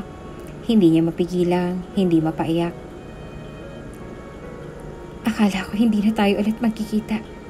I miss you so much, sabi ni Henry. He missed the sweet rosy scent of being her and God. After those years, he met her again. Henry went back to Manila sa dating bahay ni Shiloh para balikan ang babae after fulfilling his dream and had his work in Manila. Pero wala na roon sa mismong address na nakatira si Shiloh at wala nakakaalam kung saan ito lumipat. Hinanap niya si Shiloh pero matapos ang isang buwan ay bumalik na lamang siya ng Cebu and decided na doon na magtrabaho missed you so much, Henry. Naluluhang sabi naman ni Shelo. Henry cupped Shelo's face and wiped her tears. Marami kang dapat ikwento sa akin. But first, I need to check your ankle, okay? Ano ba kasing nangyari? Tinignan ni Henry ang ankle ni Shelo and noticed that there was a fracture. Umalis naman si Amy sa loob. Kinwento ni Shelo ang nangyari and she winced when Henry gently touched her ankle. Mabuti na lang at hindi naman malala nangyari. Pero it will take time to heal, Shelo. Sabi ni Henry. But still, we need to take an x-ray later for this. Hinaplos nito ang galos niya sa may binte at napansin ni Henry ang bruise nito. Hindi alam ni Shelo kung bakit nakaramdam siya ng kakaiba sa haplos na iyon ni Henry. It was gentle, but felt sensual for her. Henry, tawag ni Shelo. Umupo naman si Henry sa upuan niya. Tumingin si Henry sa kanya na may sinusulat ito sa papel sa clipboard. Bumalik ka ba sa dating bahay namin? Tanong ni Shelo. Oo, pero lumipat na daw kayo, sabi ni Henry. Hinanap ko kayo kung saan pero hindi ko nalaman kung nasan ka. Shello's heart squeezed when hearing his words. Henry fulfilled his promise. Hindi makatingin si Shello kay Henry. Nabigla siya nang hinawakan ni Henry ang kamay niya at alam ni Shello, nandun pa rin ang nararamdaman niya para kay Henry. Shello inhaled sharply and her cheeks reddened, his thumb caressing her knuckles. Pumunta ka ba dito noon? Tanong ni Henry. Hindi. Sa US ako pinag-aral ng mga magulang ko. Sa Duke University. Sagot ni Shello. Tumingin si Shello kay Henry. I'm sorry sa ginawa ng daddy ko noon, Henry. Sorry dahil wala akong nagawa nun sa'yo. Ngumiti pa ng malapad si Henry. Kasalanan ko din kasi yun. You were just 16. And we did something na hindi natin dapat ginawa. Kaya ginawa lang ng daddy mo ang tama. Umiling naman si Shiloh. May kasalanan din naman ako, Henry eh. Hindi lang naman ikaw. Ako naman ang may gusto nun.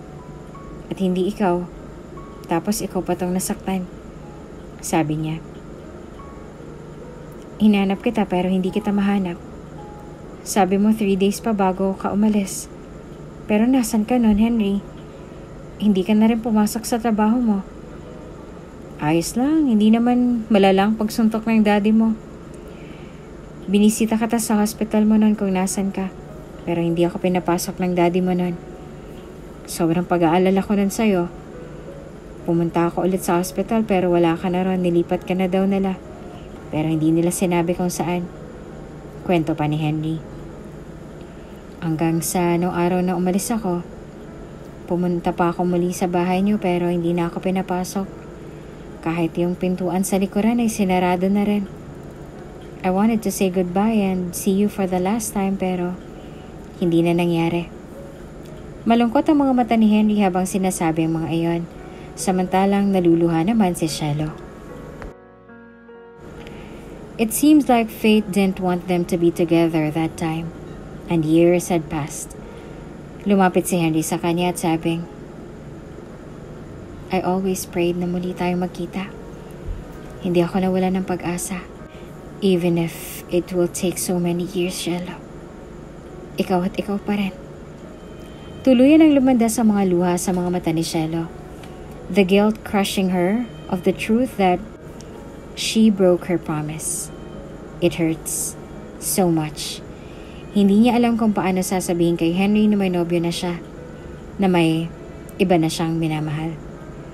Puno naman ng pag-aalala ang mga mata ni Henry. May masakit ba sa'yo, Shiloh? Ang hinlalaki nito ay pinunasan ng luha sa kanyang mga mata. Umiling si Shiloh at nagsimulang, Masaya lang ako na nagkita tayong muli, Henry. Ngumiti naman si Henry at marahang inilapit ang mukha kay Shelo. Alam mo kung gaano ko kasaya ngayon dahil sinagot na ng Panginoon ang matagal ko ng panalangin. Shelo inhaled his peppermint breath and all she thought that moment was to have a taste of this kiss that they had before. If it's still the same, the love she had for him. Pero napatigil si Henry na may commotion na nangyayari sa labas ng hospital room. Papasukin niyo ako. Gusto ko makita si Shelo. Sabi ni Ford. May dalawang nurse ang nagpigil sa kanya. Pumasok lang kasi basta-basta ang lalaki. Uh, kasalukuyan pong chinecheck po ng doktor ang pasyente at hindi muna kayo pwedeng pumasok. Maghintay po muna kayo dito. Sabi ng isang nurse. Galit na tinitigan ni Ford ang nurse sa lalaki. I can't wait here without seeing how Shello's well-being. Are you stupid? Kung hindi niyo ako papapasukin, I'll sue this hospital at sisiguraduhin kong magsasara kayo. Sobrang pag-aalala nito sa nobya hanggang makapasok na ito sa loob. Shello! Tawag ni Ford na puno ng pag-aalala. Nakita ni Shello ang nobyo na kaagad na lumapit sa kanya at niyakap siya. God, I was so worried. Kumusta ka na? Ano bang nangyari? Maayos ka lang ba?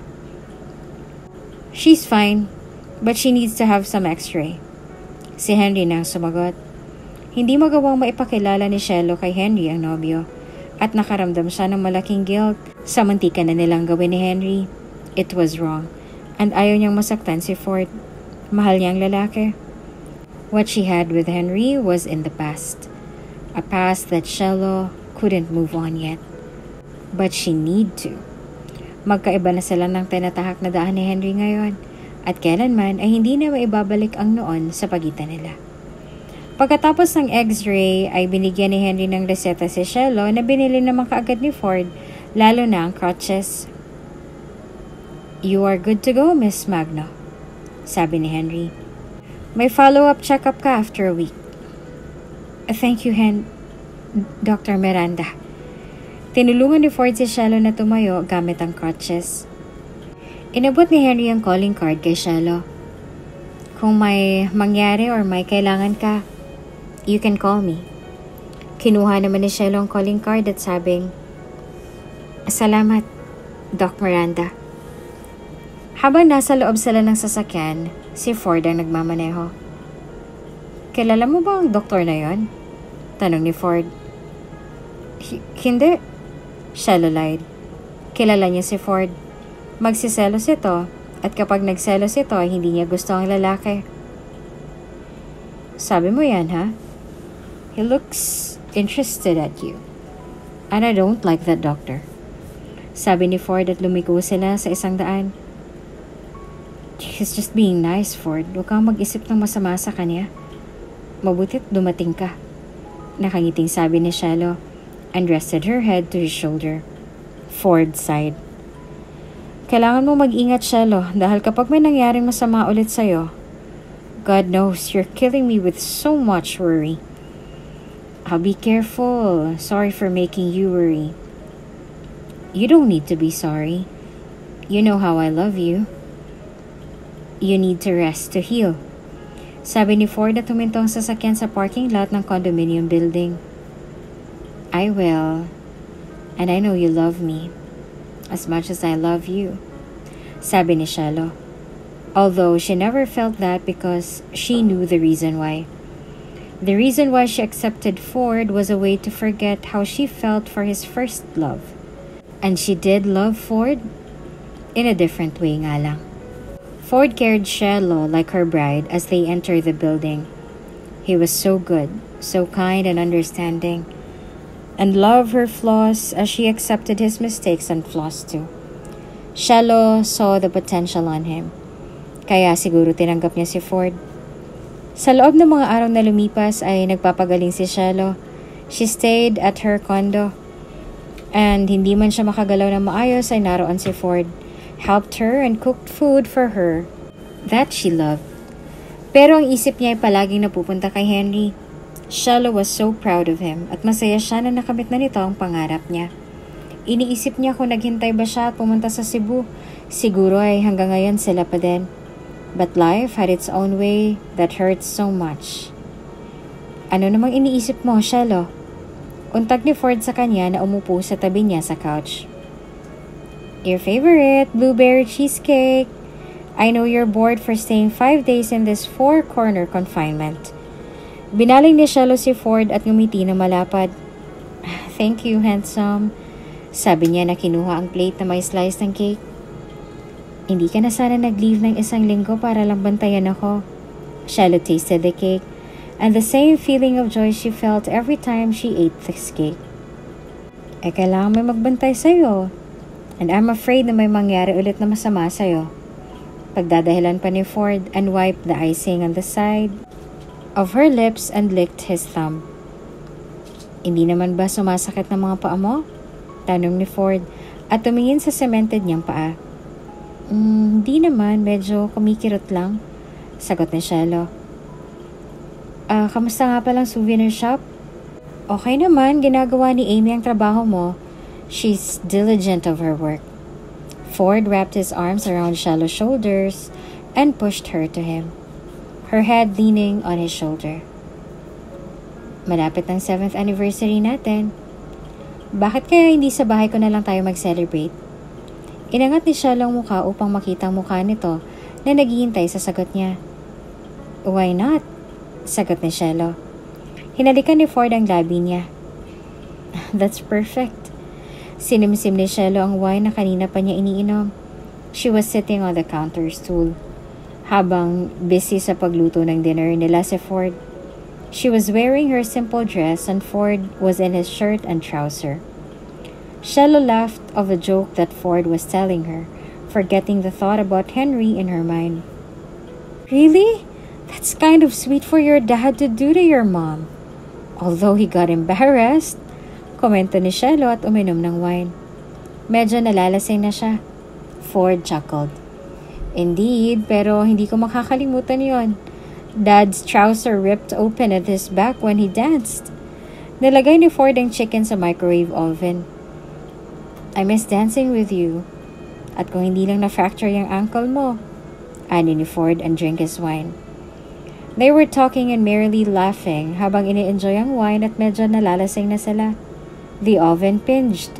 Nagmamadaling binuksan ni Ford ang oven at kukunin sana nito ang chicken sa loob pero napasok ito. Tinawanan nito ni Shallow. Oh, did it hurt, Ford? You need to be careful. Galit na kinuha ni Ford ang chicken at nilagay sa counter. At hindi inaasahan ni Shallow ang sapak ni Ford sa pisngi niya. Han, I'm really sorry. I understand kung galit ka. Medyo tipsy lang ako kaya...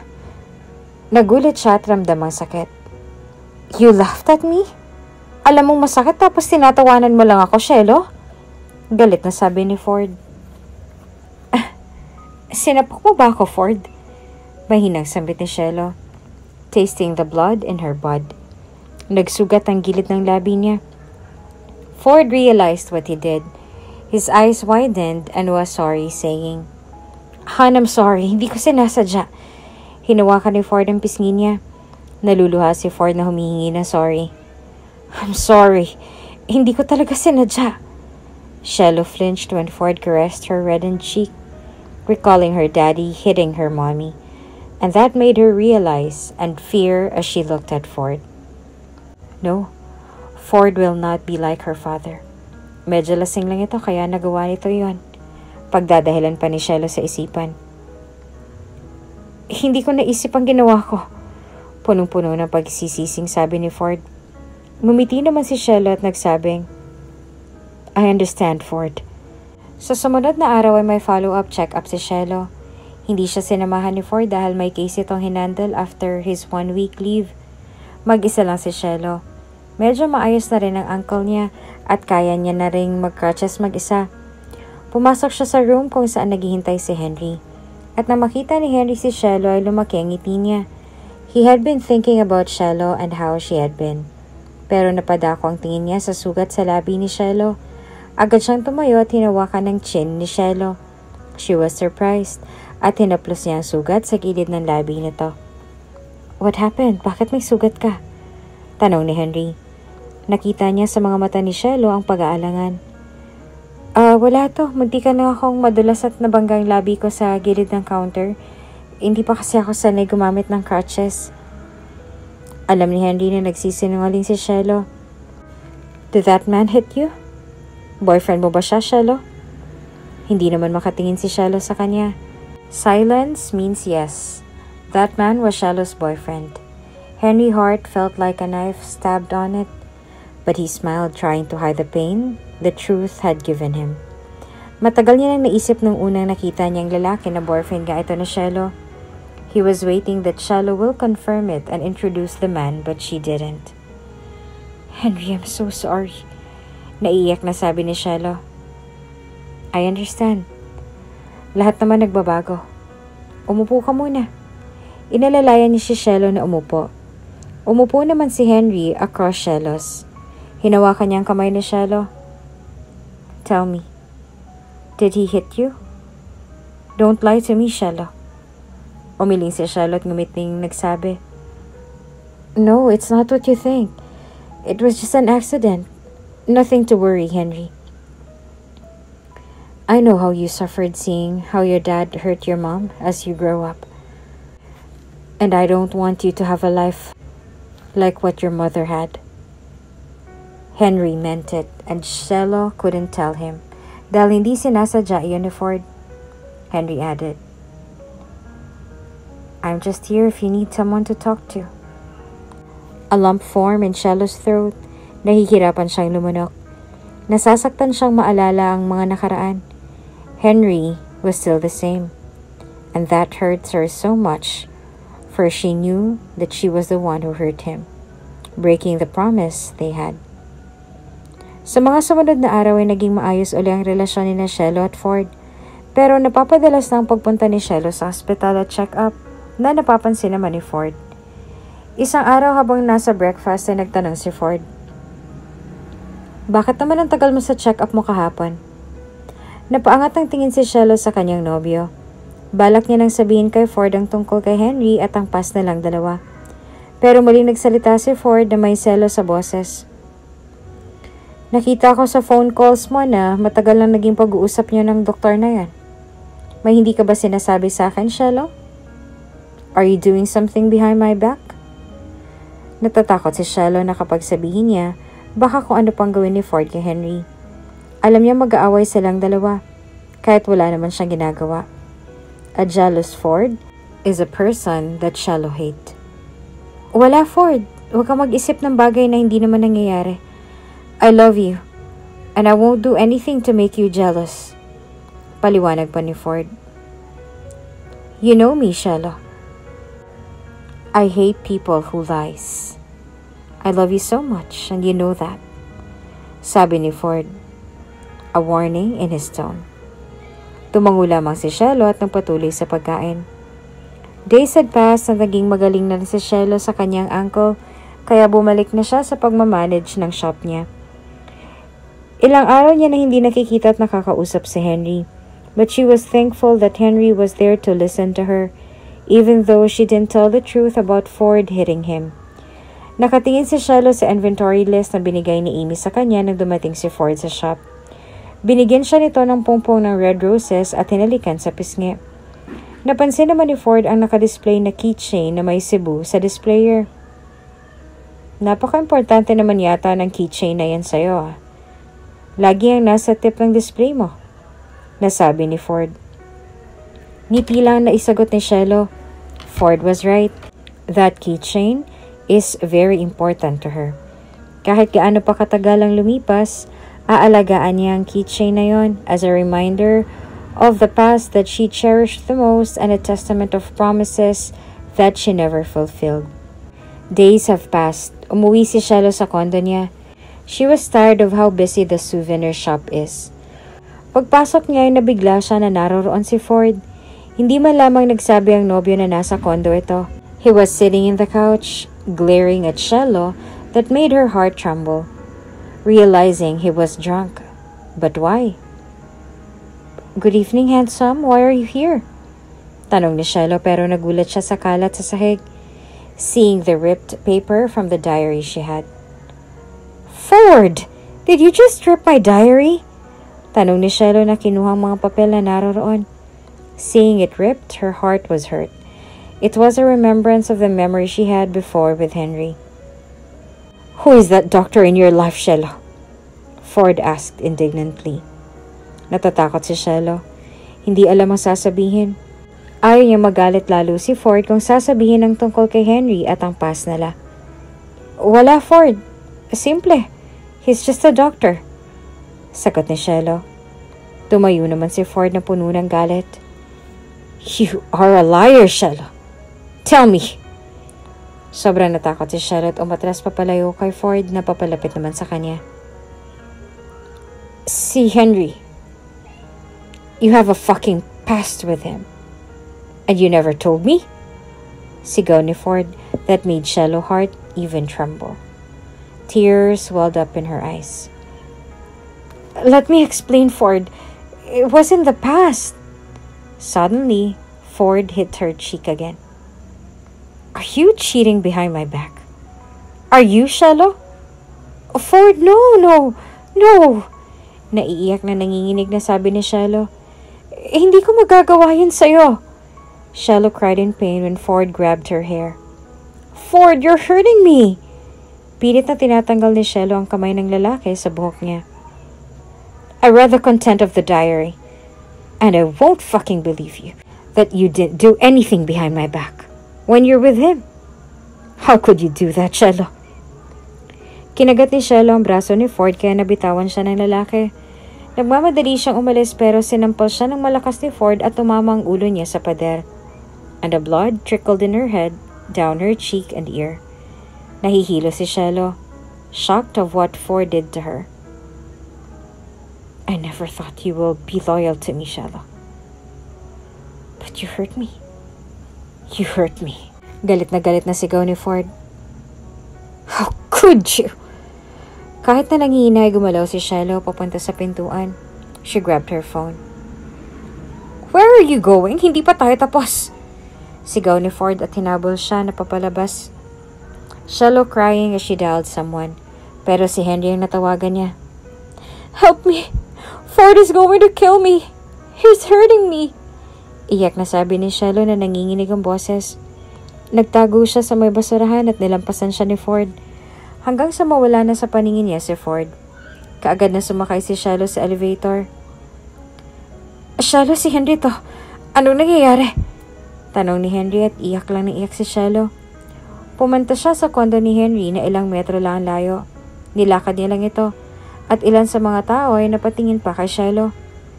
Papasok na siya sa building nang makita niya si Henry na papalabas at napahinto na makita siya. Shiloh! Sabi ni Henry at niyakap si Shiloh ng mahigpit. Anong ginawa niya sa'yo? Hindi nagsalita si Shiloh at inakay siya ni Henry sa kondo nito. Pinaupo siya ni Henry sa couch at kumuha ng medical kit si Henry na puno ng pag-aalala habang nililinis ang sugat ni Shiloh sa ulo. May bukol yon at may cut na maliit. Binenda naman ni Henry ang sugat at ninakapulit si Shiloh na umiiyak uli hanggang na makatulog na si Shiloh sa mga bisig ni Henry. Henry carried Shiloh in his room and gently laid her down at kinumutan niya ito. Puno ng galit si Henry at gustong puntahan si Ford pero hindi naman makakatulong kay Shiloh ang gagawin niya. Henry sat on the couch, hands rubbing his face as tears slid in his eyes. Hindi niya nagawang protektahan si Shiloh. Henry murmured a prayer that Shiloh will be fine and to control his anger that he won't do anything drastic that will make Shiloh hate him, least fighting with Ford. Shiloh had enough of fear and hurt she had when she was a child of what her father did to her mother. Subalit ang taong minahal nito ay sinaktan siya. Iyon ang hindi kaya mapatawad ni Henry of what Ford did, just like Shiloh's dad to her mom. Nagising si Shiloh na kumikirot ang ulo. Kaagad na dinaluhan siya ni Henry. Drink this. It will help you relieve the pain. Sagot ni Henry. Ininom ni Shiloh ang gamot and she rested since nahihilo pa siya. Not long after, nawala na ang kirot sa ulo niya. Tumayo siya sa pagkakaupo. Bumukas ang pintuan at nagdala ng isang tray si Henry na may lamang pagkain. You need to eat. Hindi ka nakakain kagabi. Sabi ni Henry with concern on his voice that touched Shiloh and her eyes watered. Shelo, kahit mahal mo pa siya, what he did is wrong. Sinaktan ka niya. Mahinahong sabi ni Henry. At hindi ako papayag na sasaktan ka niya ulit. Hinawakan ni Henry ang kamay ni Shelo. Salamat sa pag-aalala sa akin, Henry. Kasalanan ko naman kasi hindi ko sinabi sa kanya nakaraan natin. Sabi ni Shelo. Hindi mo yung kasalanan. Seeing what he did, I could say na kahit sinabi mo pa sa kanya noon, sasaktan ka pa rin niya. I've met someone who was abused by her husband out of jealousy, Shiloh. Don't end up like your mother, sabi pa ni Henry. Nais makita ni Shiloh ang katotohanan at hindi magpakatanga sa pag-ibig. Hindi na muli nagsalita pa si Shiloh at kumain na. Hindi siya kagaya ng kanyang ina at ayaw niyang matulad ang buhay niya tulad ng sa ina. Alam ni Shiloh na wala siyang laban kung magpe-press siya ng charges laban sa lalaki dahil mayaman ang nobyo at may mga kapamilya na husgado. Ang takot niya noon sa ama ay muling bumalik at ang takot na yon ay sa taong akala niya ay hindi tulad ng kanya ama. Nakipagkita si Shiloh kay Ford kasama niya si Henry. Nasa loob sila ng isang restaurant. Matalim ang titig ni Ford kay Henry. Am I right all along that you cheated on me, Shiloh? Galit na sabi ni Ford na nakakuyom ang palad. You are wrong, Ford. Kaibigan ko lang si Henry. Pagtatama ni Shiloh. Nandito ako para makipaghiwalay sa'yo. After what you've done. Nagulat si Ford sa narinig. Pero Shiloh, mahal kita. Don't do this to me. Lasing lang ako nung nangyaring mga yon. Hindi ko sinasadya. Kung hindi ka lang nagsinungaling sa akin, hindi ko magagawa yon. Paliwanag ni Ford na nagmakaawa pa sa boses. Sinubukan itong lapitan si Shiloh pero hinarangan ni Henry. Don't ever touch her again. You almost killed her, Ford. And I swear na kapag lumapit ka pa kay Shiloh at saktan siya, I'll bring hell to you. Banta pa ni Henry. Ford scoffed. At sino ka naman para sabihin yan? Susuntukin na sana ni Ford si Henry pero pinigilan nito ni Shiloh. Enough, Ford! We are done. And I will never forgive you what you did. Tayo na, Henry. Ford called Shiloh and followed her. Pero hindi naman binalingan ni Shiloh ng tingin si Ford. Shiloh, you can't leave me like this. Sabi ni Ford na may banta pa sa boses. And they left the restaurant. Shiloh couldn't believe that Ford would say such warning. Ayos ka lang ba? Nag-aalalang tanong ni Henry sa kanya. Oo. Pagsisinuling pa ni Shiloh. It was her fault why she chose someone that she knew na madaling magselos. Akala niya Ford will change. Nanatili muna si Shiloh sa kondo ni Henry. Alam niya kasi hindi siya titigilan ni Ford at natatakot siya na baka saktan siya nito. Naging maayos sa mga araw na lumipas para kay Shiloh pero naroon pa rin ang trauma sa ginawa sa kanya ni Ford. She was glad that Henry was there to help her feel at ease. Ngunit isang araw ay narinig niya ang boses ni Ford sa labas ng front door ng kondo. Shiloh, I'm sorry. Please, lumabas ka na. Umuwi na tayo. I promise, hindi ko nagagawin yun ulit. Garal-gal ang boses sa sabi ni Ford. Shiloh, hon, alam kong naririnig mo ako. Forgive me. Forgive me. Forgive me. Patuloy pa na sabi ni Ford. Naaawa na si Shiloh kay Ford. Tumingin naman si Henry kay Shiloh. Kakausapin ko siya na umalis na. Hinawakan ni Shiloh ang braso ni Henry upang huminto ito sa paghakbang papalapit sa pintuan at umiling. Ako nakakausap sa kanya, Henry. Sorry for troubling you. No, Shiloh. I can't trust him na hindi siya gagawa ng masama sa'yo. Huwag ka mag-alala. Ani ni Henry at lumapit sa pintuan at binuksan niyon. Bumungad sa harapan ng dalawa si Ford na nakaluhod. Mukhang walang tulog at medyo magulong buhok. Umalis ka na, Ford. Tapos na kayo ni Shiloh. Wika ni Henry. Tumingin si Ford kay Shiloh na nagmamakaawang nagsabi. Shiloh, I'm sorry. Hindi ko na gagawin yon. Kasalanan kong lahat. Sorry. Ford, umalis ka na. Sabi ni Shiloh. Tumayo si Ford. Ganyan ba kadali sa'yo na iwan ako, Shelo? Dahil ba sa lalaking to? Nagulat si Shelo sa biglang pagsuntok ni Ford kay Henry, buti na lang ay nakaiwas si Henry. Pero sa galit ni Ford ay sumugod ulit ito. Ford, tama na! You are just a liar for saying that you will change. But look what you're doing. Mahal mo ko? Then stop it. And leave. Sigaw ni Shelo. Tumigil si Ford. Namumula ang mga mata at walang salitang umalis. Tears welled up in her eyes, knowing that she hurt Ford. Pero hindi niya kaya mapatawad ito. Henry looked at Shello. He was hurt for thinking that how Shello loved the man. Niyakap ni Henry si Shello at sabing, It's okay, I understand. Sa mga lumipas na araw ay napapansin ni Shello na nahihilo siya at hindi niya alam kung bakit. At minsan ay nasusuka siya na hindi niya alam. Napansin naman na ni Henry and he knew that Shello was pregnant. Binigyan ni Henry ng pregnancy test kit si Shello and the result was positive. Shello felt horror when knowing she was pregnant. Pregnant of Ford's child. Hindi niya alam kung anong gagawin and she just cried. Ayaw niyang isilang ang bata na walang ama. Shello, alam kong hindi madali sa'yo ang bagay na to. Sabi ni Henry. They were in the couch, sitting. Pero alam ko na makakayanan mo to. May dahilan kung bakit nangyaring mga bagay na to. You need to keep the child. Wala siyang kasalanan sa ginawa ng ama niya, Shelo. Tumingin si Shelo kay Henry na nanlalabo ang muka. I don't want to live my child without his father. Pero ayoko mabuhay ito na katulad ng buhay na meron ako nun. I don't want it, Henry. Tahan na. Magiging maayos din ang lahat. Iyakap pa ni Henry kay Shelo. Pumunta si Shelo sa hospital upang magpa-check up sa OB. Hindi niya alam na sinundan siya ni Ford at papasok na sana siya sa hospital nang hinarangan siya ni Ford. Shelo, kausapin mo muna ako. Sabi ni Ford na naiiyak. Medyo mahaba na ang buhok nito at hindi pa nagsishave ang medyo makapal na balbas. Pagkakita pa ni Shelo sa lalaki, nahabag siya. I am sorry, please, hindi ko na gagawin yun. Bumalik ka na sa akin. Mababaliw ako kapag iniwan mo ko. I love you so much, please. Luha ang sabi ni Ford. I just did it kasi nasaktan ako. Kasi hindi mo sinabi. At nagselos ako, Shelo. Please.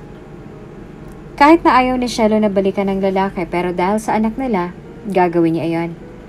Tsaka aasa siya sa pinangako ni Ford na hindi niya na ito ulitin. Ford, promise me that. Dahil kapag ginawa mo pa ulit, hindi na kita bibigyan pa ng isang pagkakataon. Sabi pa ni Shelo. I promise, Shelo. Sabi ni Ford. Sinabi ni Shelo na buntis siya at ito ang ama. Naroon ito upang magpa-check up sa OB. Akala ni Shelo hindi tatanggapin ni Ford ang dinadala niya pero tinanggap nito ito. Doon nalaman ni Shelo na isang buwan na 3 weeks na siyang buntis. Pinuntahan ni Shelo si Henry at sinabi ang ginawa niya. She saw the disappointment and hurt in Henry's face. Kung yun ang desisyon mo, Shelo, I will support you. Sabi ni Henry. He only wanted Shelo to be happy and to protect her from being hurt again. Matagal niya nang tinanggap na kahit kailanman ay hindi na magiging sila. And Shelo loved someone else and he was only part of her past. Thank you, Henry. Thank you for everything. Sabi ni Shelo. Her heart was breaking into pieces because it will be the last time na magkikita silang muli ni Henry. She decided not to make Ford jealous because of him. Niyakap naman ni Henry si Shelo at sabing, Always keep in touch with me, Shelo. And if he did it again, tell me. I'll be there to protect you. Isang buwan matapos nagpakasal si Shelo at Ford, naging maayos naman ang takbo ng relasyon nila. Pero naroroon pa rin ang pagsiselos ni Ford kapag nakikita siyang may kausap na lalaki. Ford became so restricted to her na huwag kumausap sa mga lalaki pero hindi siya nito sinasaktan. Shelo never felt any love with Ford. For the sake of their child, she'll remain in their marriage. She felt like she was living in her mom's shoe and she felt dread with it. She never felt even safe for Ford. Minsan nakala niya sasapakin siya ni Ford. Her defense mechanism, raise her arm to defend herself, is automatic. Shelo, I'm just giving you this. Sabi ni Ford na binigay ang isang necklace. Uh, sorry. I easily got startled. Sagot ni Shelo tinanggap ang necklace. Thank you. It's lovely.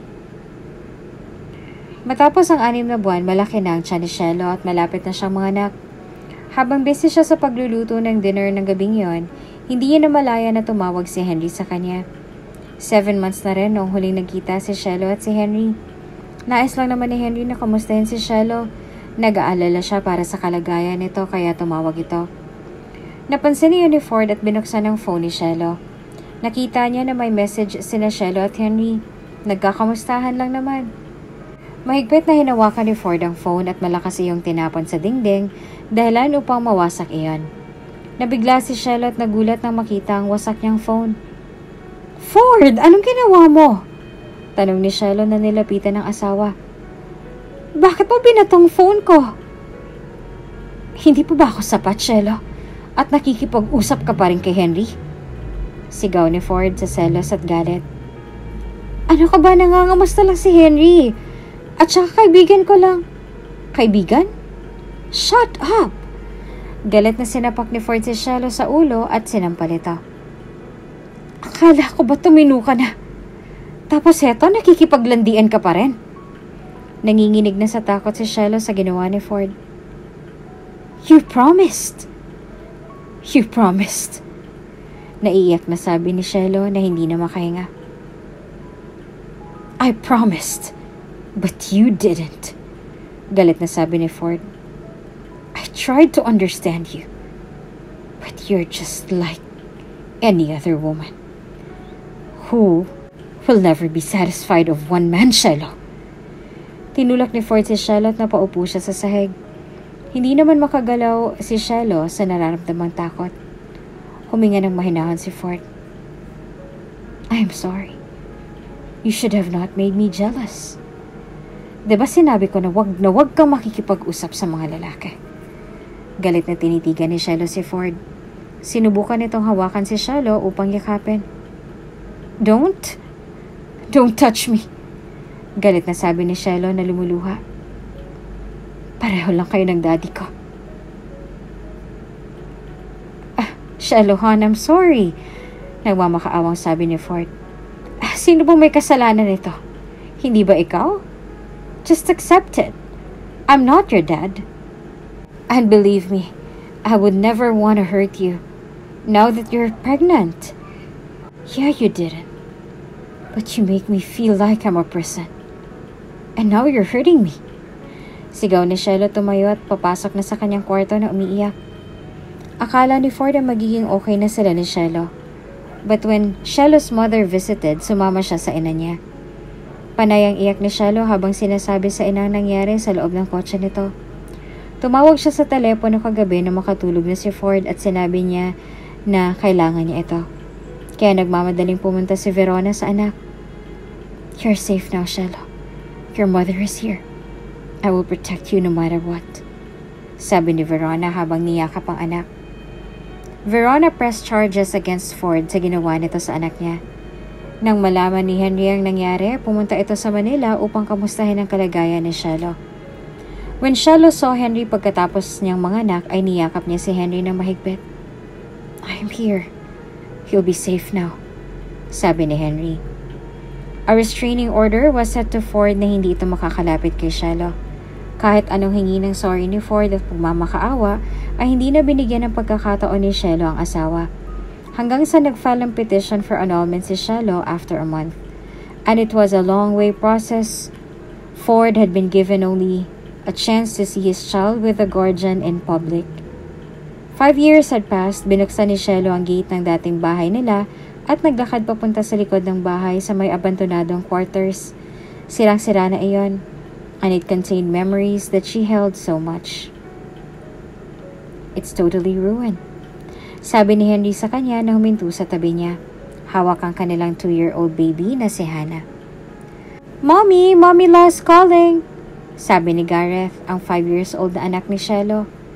Gareth had the looks of his father when he was a child, but he had a soft heart and a kind heart like his mother. Inabot ni Gareth ang phone sa kanyang ina. It is ruined, Henry. Pero it all started in here. Sagot ni Shiloh nang umingiti. In her other hand, hawak niya ang keychain na binigay ni Henry sa kanya noon. Sinagot ni Shiloh ang tawag. Hello, Mommy? Opo, dyan po kami magse-celebrate ang third wedding anniversary ni Henry.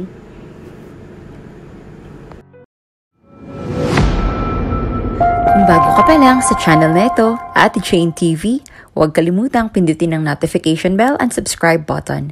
Sana po hindi naman malaking abala sa inyo ang pagpindot ng subscribe button dahil ang kapalit po nito ay ang pagsuporta para makapag-produce ng mga libreng stories sa mga channels ni Ate Jane. Maraming salamat!